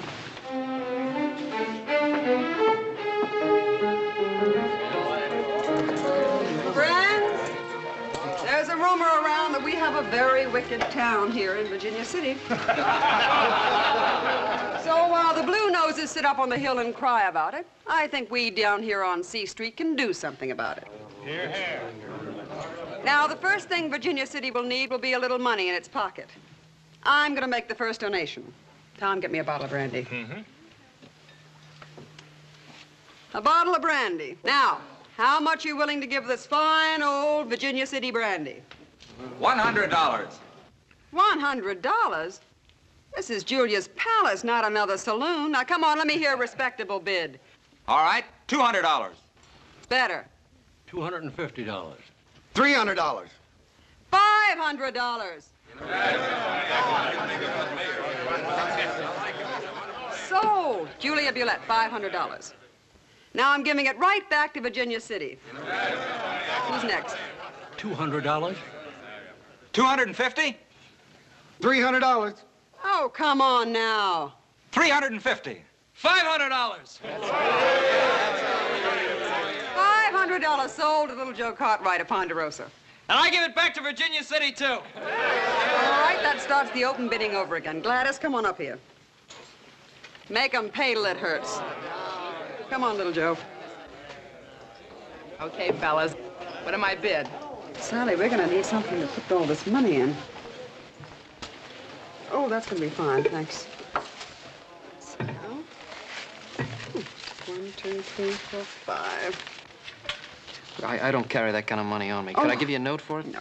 You saved my honor, I'll save yours. Now we're even. So your daddy forgot to give you your allowance, huh? Look, Mullane, just because you shot up a few miners, that makes you the most feared man in town. I'm not shaking even a little bit, so don't get in my way. You don't think I can make you shake like the others, huh? I think you only stay alive because no grave will have you. I think you'd better go. You uh, going outside, my friend? fine. No, he's he's going with me. Monsieur? Would you rather spend a few minutes with him or an evening with me? Some other time. That is a promise. From me.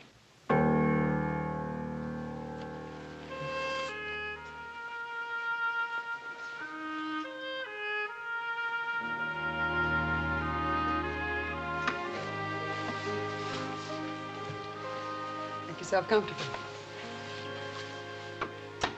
Fix us a brandy. No thanks. Oh, you drink so little, gamble even less. Well, it's a good thing the finer side of a man burns out in his youth, or I'd be out of business. Well, I hope you stay in business a long time. I'd hate to see you leave here. There are not many around here who would agree with you. Ah, they snub you on Sunday and come to your place on Monday. The world's better off without that kind of hypocrite. Don't try to change the world, little Joe. Enjoy it the way it is. You'll grow older, and then you'll be no different from all the others. I'm sorry about that. Eh? Oh.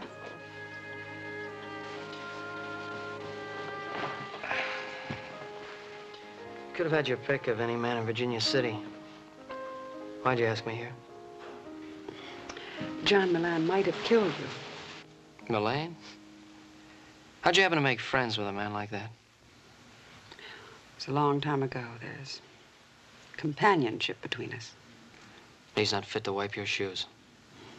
Don't be too sure.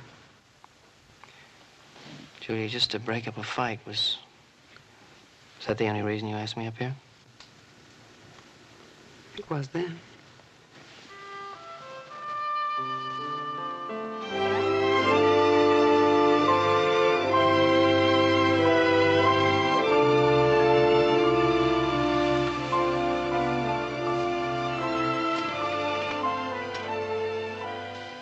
Is anything wrong?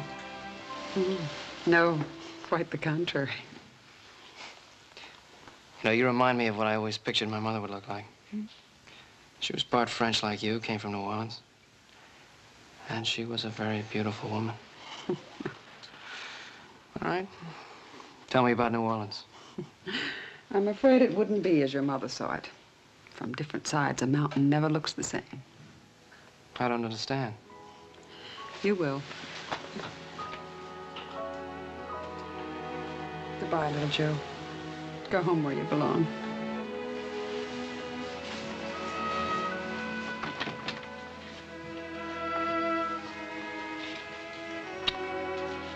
Coming back.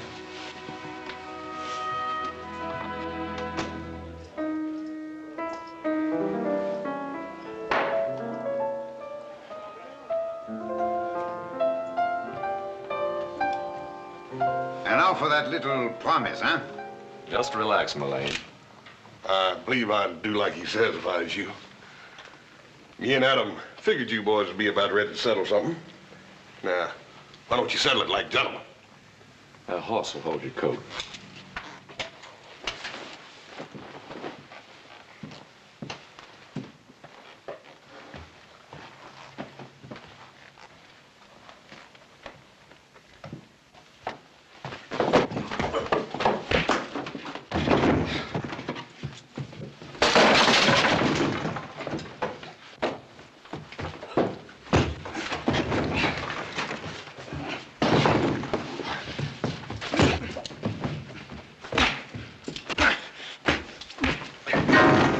If I've told little Joe once, I've told him a thousand times to keep those elbows in. Well, Joe's got to learn to fight a lot dirtier than that.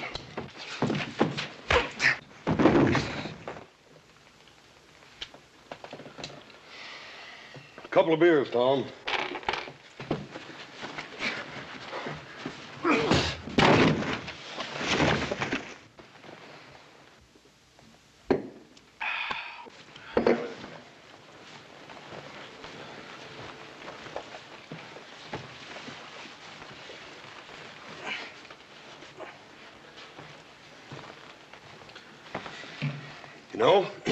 kid's got lots of grit.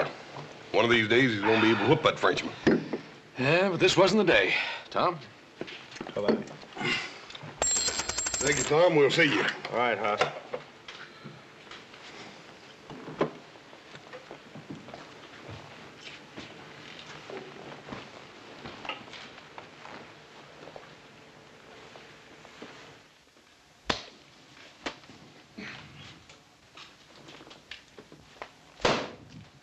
$100.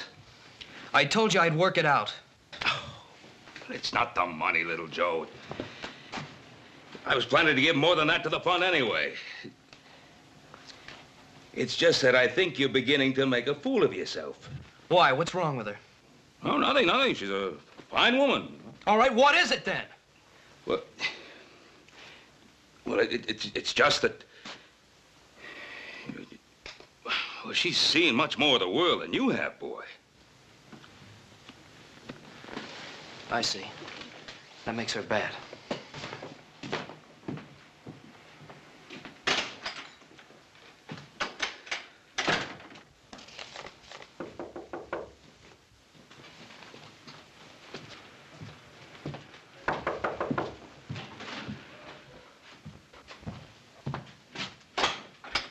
Well, Doc. Ben? Good to see you. Come on in now. Well, what brings you our way? Well, I just come down from the mines at Gold Hill. Oh, how are things down there? Ran into a few cases of fever. Fever? Was it bad? Well, it's hard to say if they'll build up to epidemic proportions. So far, just a few scattered cases here and there. Oh, I'm glad of that. You're looking well, Ben. Feel wonderful. Never felt better. Good. You've come a long way. This house, Ponderosa, three fine sons. Now, Doc, man with all the work you've got to do wouldn't take a long ride just to talk old time. Sit down. Have a little refreshment. Well? Hop Sing? How about a little cool water from that good well of yours? All right. Yes, sir, Mr. Cartwright. Glass of cool water for Dr. Martin. Yes, sir. Lie away. Now then, what's in your mind? Well, for one thing, the committee wanted you to know we received a letter of acceptance from Brad Olins. Oh, that's fine. Olins is one of the best. Yes. I only hope we can keep him. No. What's to stop us? Well, money for one thing. Oh, Miss Bulette's bottle of brandy got us off to a fine start. But it can't stop there. We've got to have the cooperation of the people. I sure hope we get all the cooperation we need. Ben, you know that most of the people of a community keep in step with the leaders. We're just beginning to find some of our leaders. You, for instance, Ben. All right. All right, Doc, keep talking. Well, I just don't know any other way to say it. People of the town are talking about little Joe and Miss Bulette. Now, matters concerning my sons and myself are nobody's business but our own. No longer, Ben. It boils down to this. If Virginia City will keep her house clean, she has a chance to become an important part of this country. If she doesn't, she'll stay just a dirty little town on a mountain.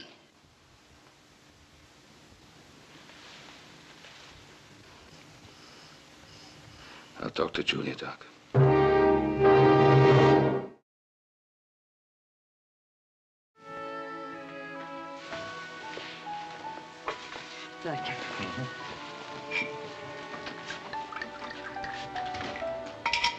Ben? I promise you it's the very best. I'm sure it is, Julia, but uh, no thanks. Mm. I'm finding out the Cartwrights aren't much of a drinking family. No, that's true, but uh, very much a family. Go on. Well, Julia, you know, the boy's young. He's, uh, he's full of life. Well, I can understand how he could appeal to you. It has. You know, with you, this is a, this is a passing thing. It's different for little Joe. Different how? Did he ever tell you about his mother? Yes. He never really knew her. She died when he was, he was very young. Now, you were the only other woman of French ancestry he's ever known. That and the fact that you also come from New Orleans, well, makes you something special in his eyes. But not in yours. No, I guess not. Have you told little Joe to stay away from me? No. I prefer him to hear it from you. And just what is it you'd uh, like him to hear from me? Well, the difference in your ages, your ways of life. Not to mention uh, the fact that the whole town is talking about us and what that could do to a young man's reputation. Yes, there's that too. Mhm. I'll think about it, Ben. Julia, you're wonderful. I knew I could count on you. You know, this really will be best for you, for everybody.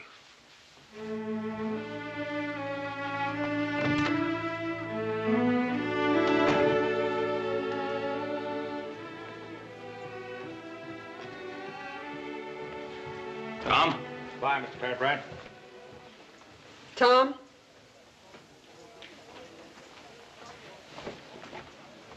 Has little Joe Cartwright been around? No, but I passed the word along that she didn't want to see him anymore. I changed my mind. But Miss Julia. I said I changed my mind.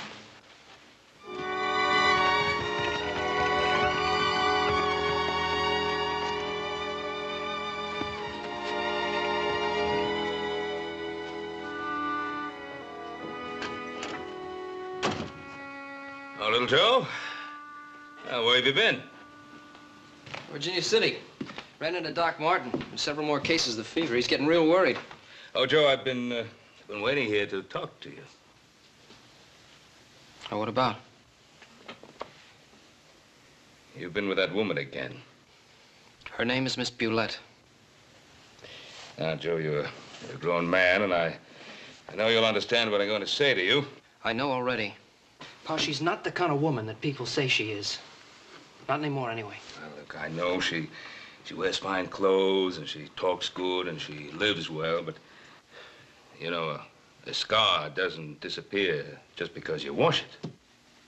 I guess that's how it was with my mother. Keep your mother out of this. I've heard you and Adam talk, how there were places you couldn't go, things you couldn't do because... Because she was part Creole. It was a language and the ways of a people that some folks didn't understand. Nothing more. I know that.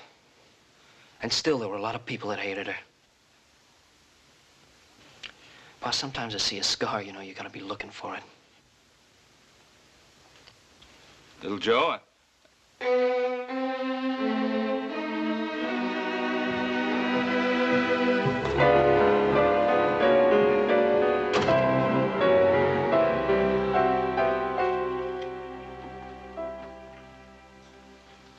No, thank you, Hop Sing. I don't want no more. Only one piece cake? This dang cake's flat. The cake is not flat. For two days now, whole length is flat. No fun, nobody eat, no good without little Joe. I just talked to Charlie. He's been in town. Seems the kid's having himself quite a time with Miss Bulette. They've been seen just about everywhere. You must be enjoying this. You know, it's doing something for little Joe. Defending somebody he feels close to. He'll get over it. You think so? Well, let him find somebody else to defend. I'm not gonna have that woman beating me over the head with my own son. And we're gonna bring little Joe back from town if we have to drag him every step of the way.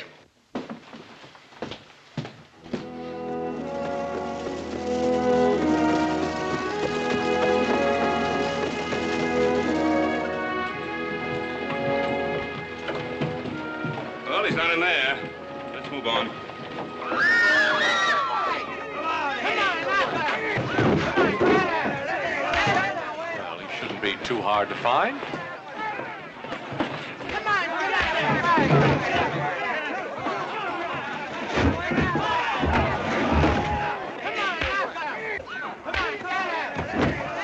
Bring it up. I said bring it up. Ben! Ben! You ought to be ashamed of yourself. You certainly should be. What for? For protecting my boy when the whole mob is trying to take him apart? Well, what that mob was doing to your boy is nothing compared to what he did to the inside of my opera house. He wrecked it. Take a whole week to put it back together again, and it was nothing but uncalled for violence. Uncalled for? What do you call what you did to Miss Bulette? Now, wait a minute. What's all this about? Perhaps I can explain. I have a box loge in this theater. Mr. Romley had it draped so it would be separated from the others. A new policy of the management. I accepted it, but my escort didn't. Well, with the district judge and, and the new marshal coming in a couple of weeks, the, the committee... Ben, you know what I mean. Let's go. Let me know how much the damages will be.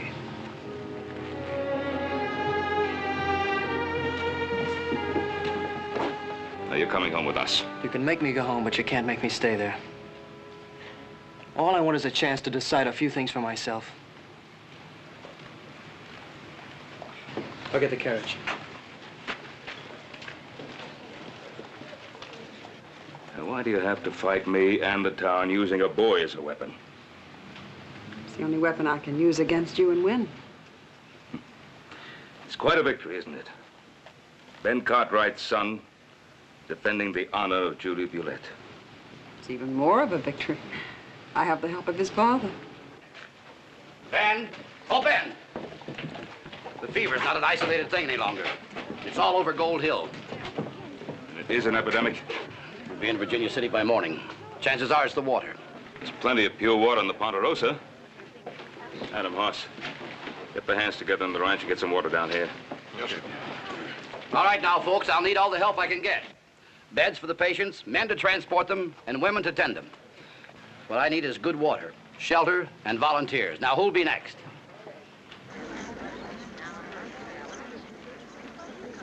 The palace will be set up for anything you need right away. Well, thank you, Julie. All right, who else?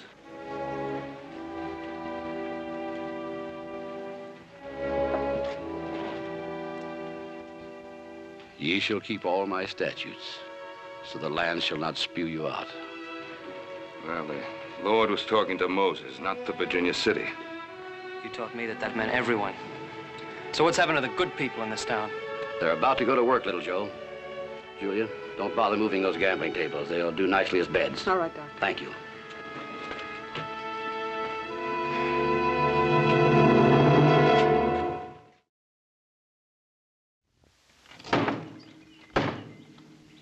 Going to slosh around a little bit, but that'll have to do. Take her on down and fill her up with water and take her on into town. As soon as it's empty, bring it back. Peter.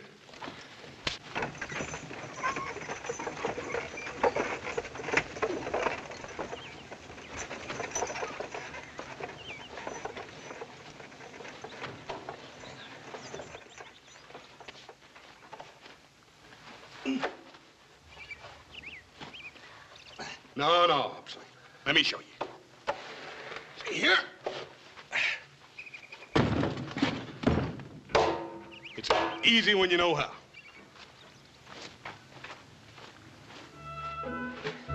You watch me, and I'll show you how to load barrels. You can't use your back strength and your muscles. You got to use your head, Hop Sing. Eh? That's right. You use your head your way, I use my head my way. Yeah.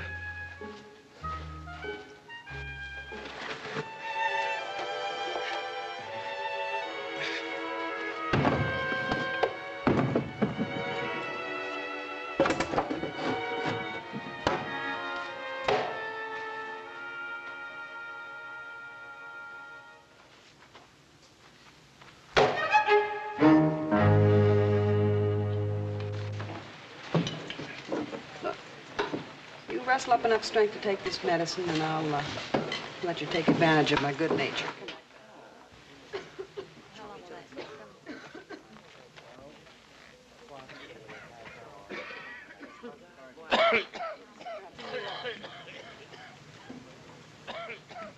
Well, we're saving two for everyone we're losing.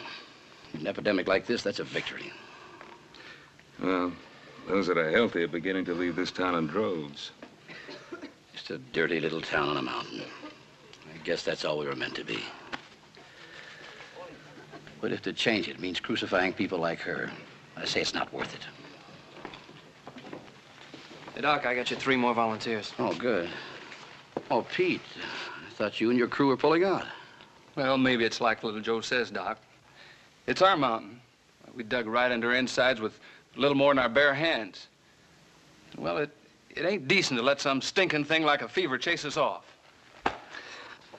Mr. Cartwright there can show you plenty to do. You come with me, Pete. Joe? I've got something for you to do. Take a break. No, Doc, there's still a lot of work to be done. That goes for Julia, too. You two have been working for days. I need help, not new patients. You do as you're told.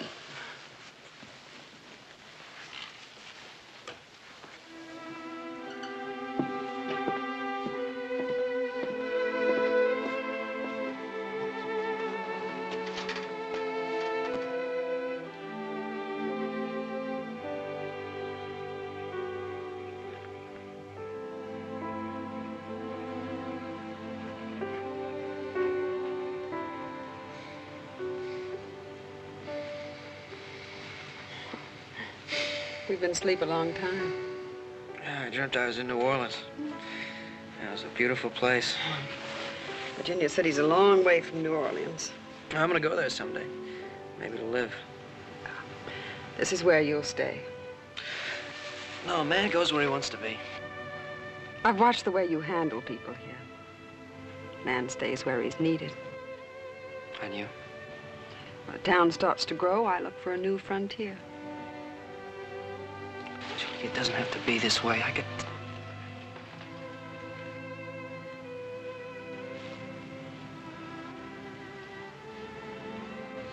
Your mother was French. Do you understand the language? Uh, some of it. Cela aurait dû arriver il y a des années. This should have happened many years ago. Mm-hmm.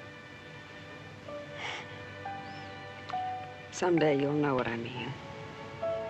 You'll also know why you must stay and I must go.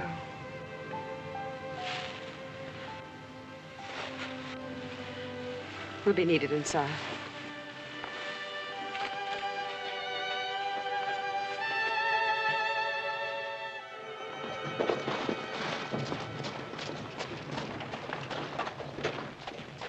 You know, I think you're gonna make it.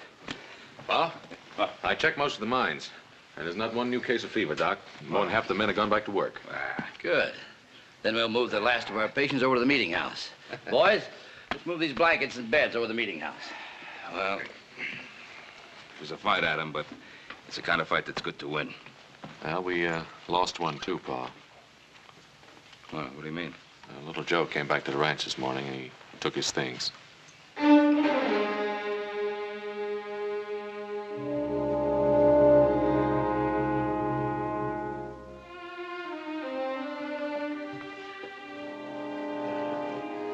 That uh, this is over, uh, Julia, this uh, this thing with little Joe, I should never have interfered. Oh, I'm disappointed in you, Ben.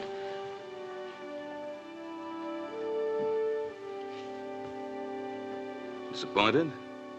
A man of strength should never let sentiment interfere with his convictions. I'm the same woman I was before the fever. Well, I haven't changed either. And nothing has changed between us, but I. I won't gamble with something I can't replace.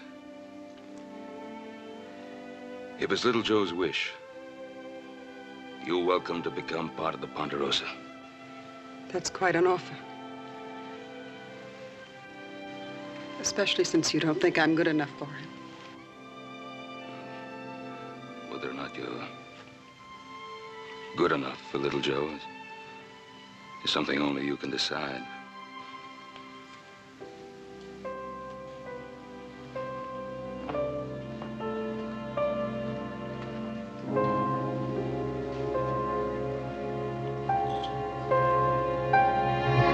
Tom, I want some champagne. Harry, let me have a tune, a lively one. As soon as the patients are moved, I, I want you to clear out this mess and put the gambling tables back in their places. I'm going to put on a night Virginia City will never forget.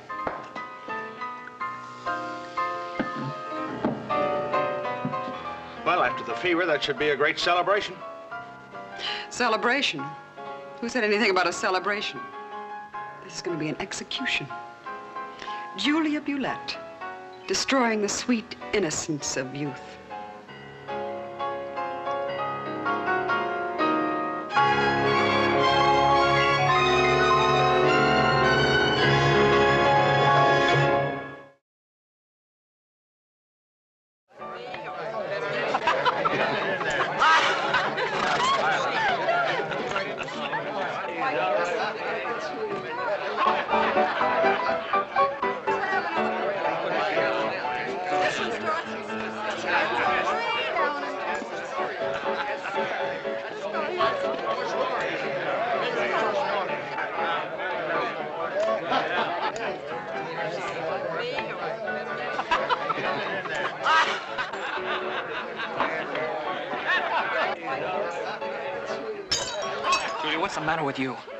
with me. I'm having fun. You call this fun? You're acting like a... Go ahead, little Joe. Say it.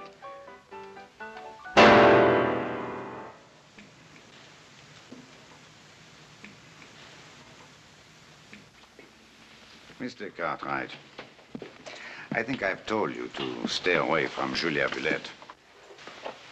It has been a short life for you, my friend. Let us hope it has been a pleasant one. John, listen. I listen.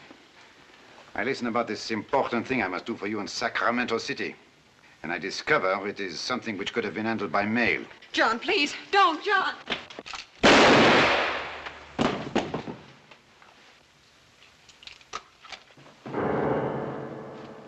Julia, you all right?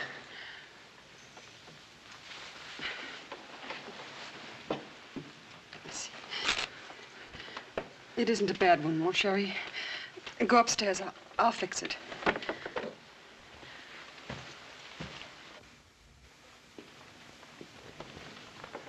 Julia? Leave me alone. Julia, I did this for you. You want to do something for me? This bracelet, the necklace, they arrived today. A present from an old friend. They're diamonds, little Joe. That's all any man can do for me. No, you don't mean that. Why shouldn't I? That door you came through, it works both ways. I think you'd better use it.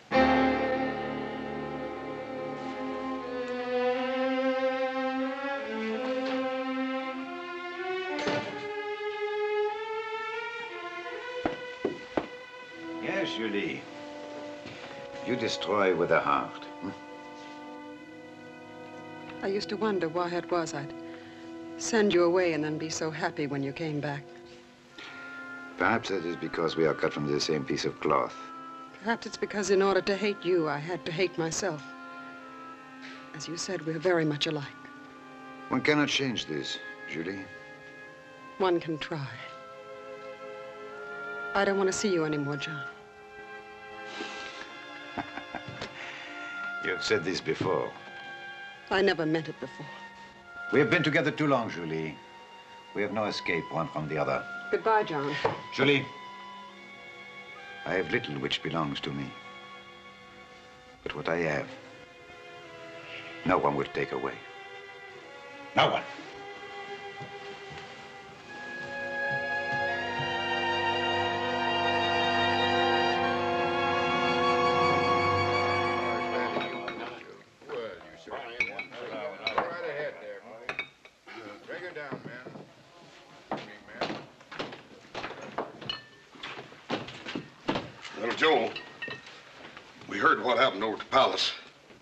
Shouldn't have taken on Mullane alone. Well, I beat him, didn't I? Little Joe, they, they're having the fanciest meeting you ever seen over at the community hall. Everybody's patting each other on the back for stopping that epidemic. Pa's right up there on the stage with them. He's gonna make a speech. Now, you wouldn't want to miss Paul making a speech, would you? Everybody's patting everybody on the back, huh? Well, it's a real fine meeting. Come on, Joe. Yo, you know, you're right. I wouldn't want to miss it.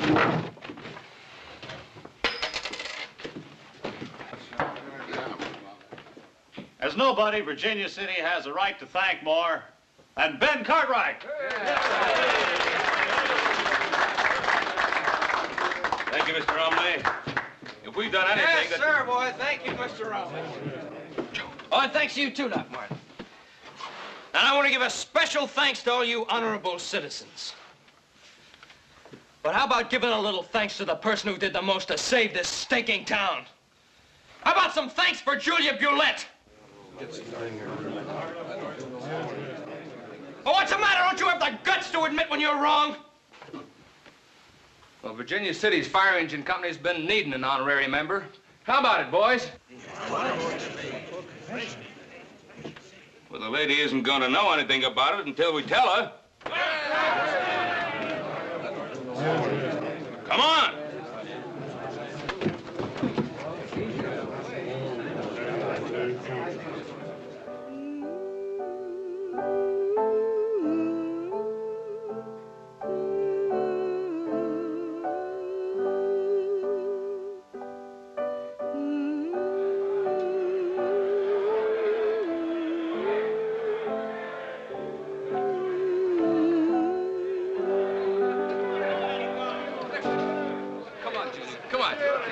There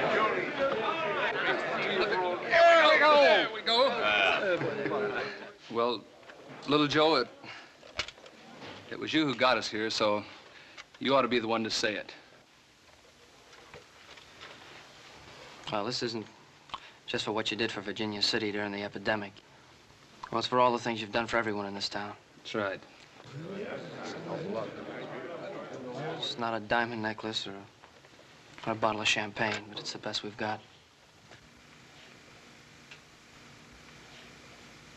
What do you say, boys? Three cheers for the first honorary member of Virginia City's Fire Engine Company number two.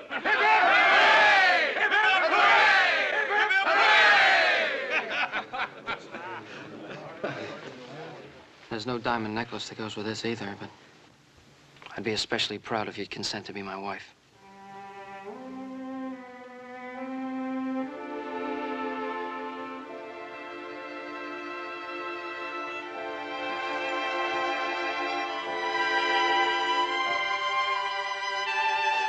Uh, what Miss Bulette is trying to say is, champagne on the house. Let's get out. Come on. Ready.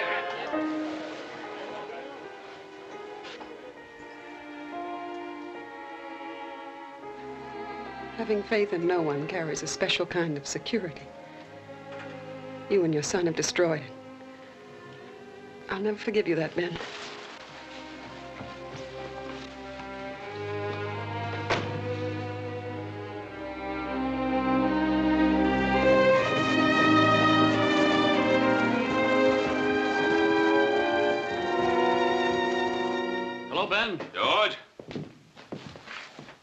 Ben Cartwright, this is Brad Olin. Howdy. howdy. Nice to meet you. You got in with a new judge, so we swore him in right away.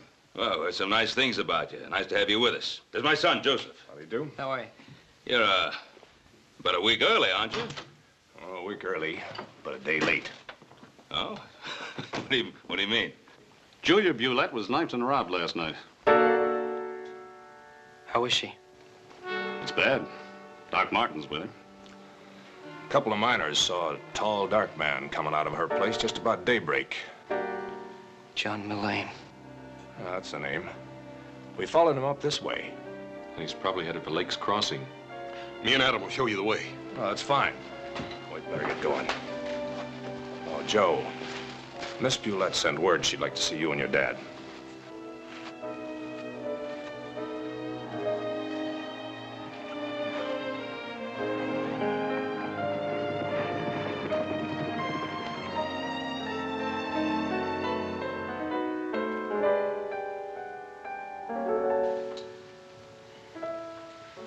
Hello, Ben.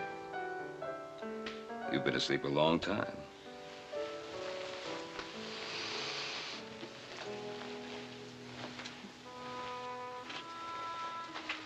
Looks like I win a battle and lose the war. I'm sorry. Everyone is. Everyone? Hmm. If New Orleans could only see me now, huh? Little Joe, He's here.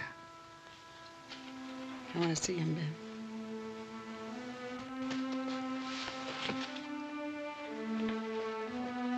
Ben? Last night, you and the rest of Virginia City gave me a present. Now it's my turn. I'm going to give you back your son.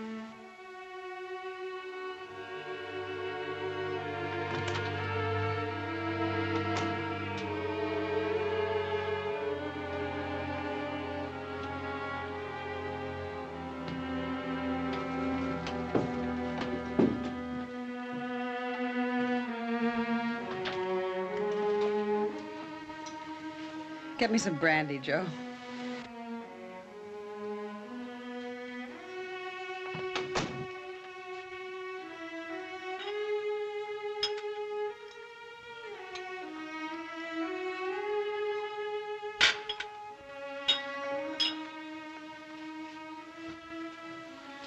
I shouldn't be giving this to you. Oh, this is the way I live, kid.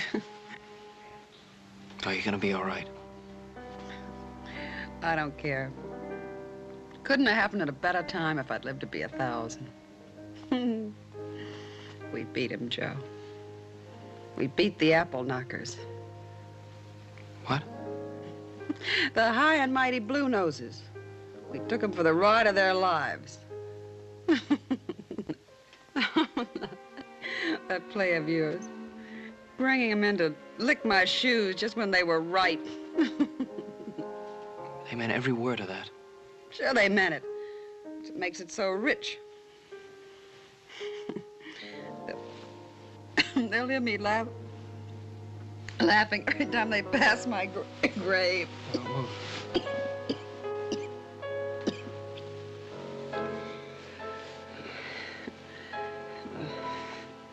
the biggest laugh of all. Your old man. That night you were up here, I told you it was just for laughs, remember? I never intended to see you again. I never wanted to see you again. You... Oh. You better go, Joe. The doctor wants me to rest.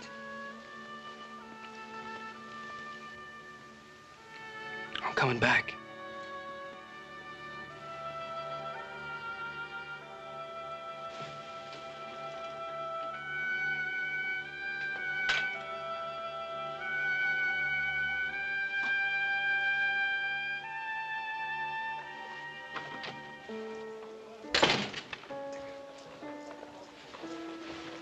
Well, we got Mullane. He had our diamonds in his saddlebags.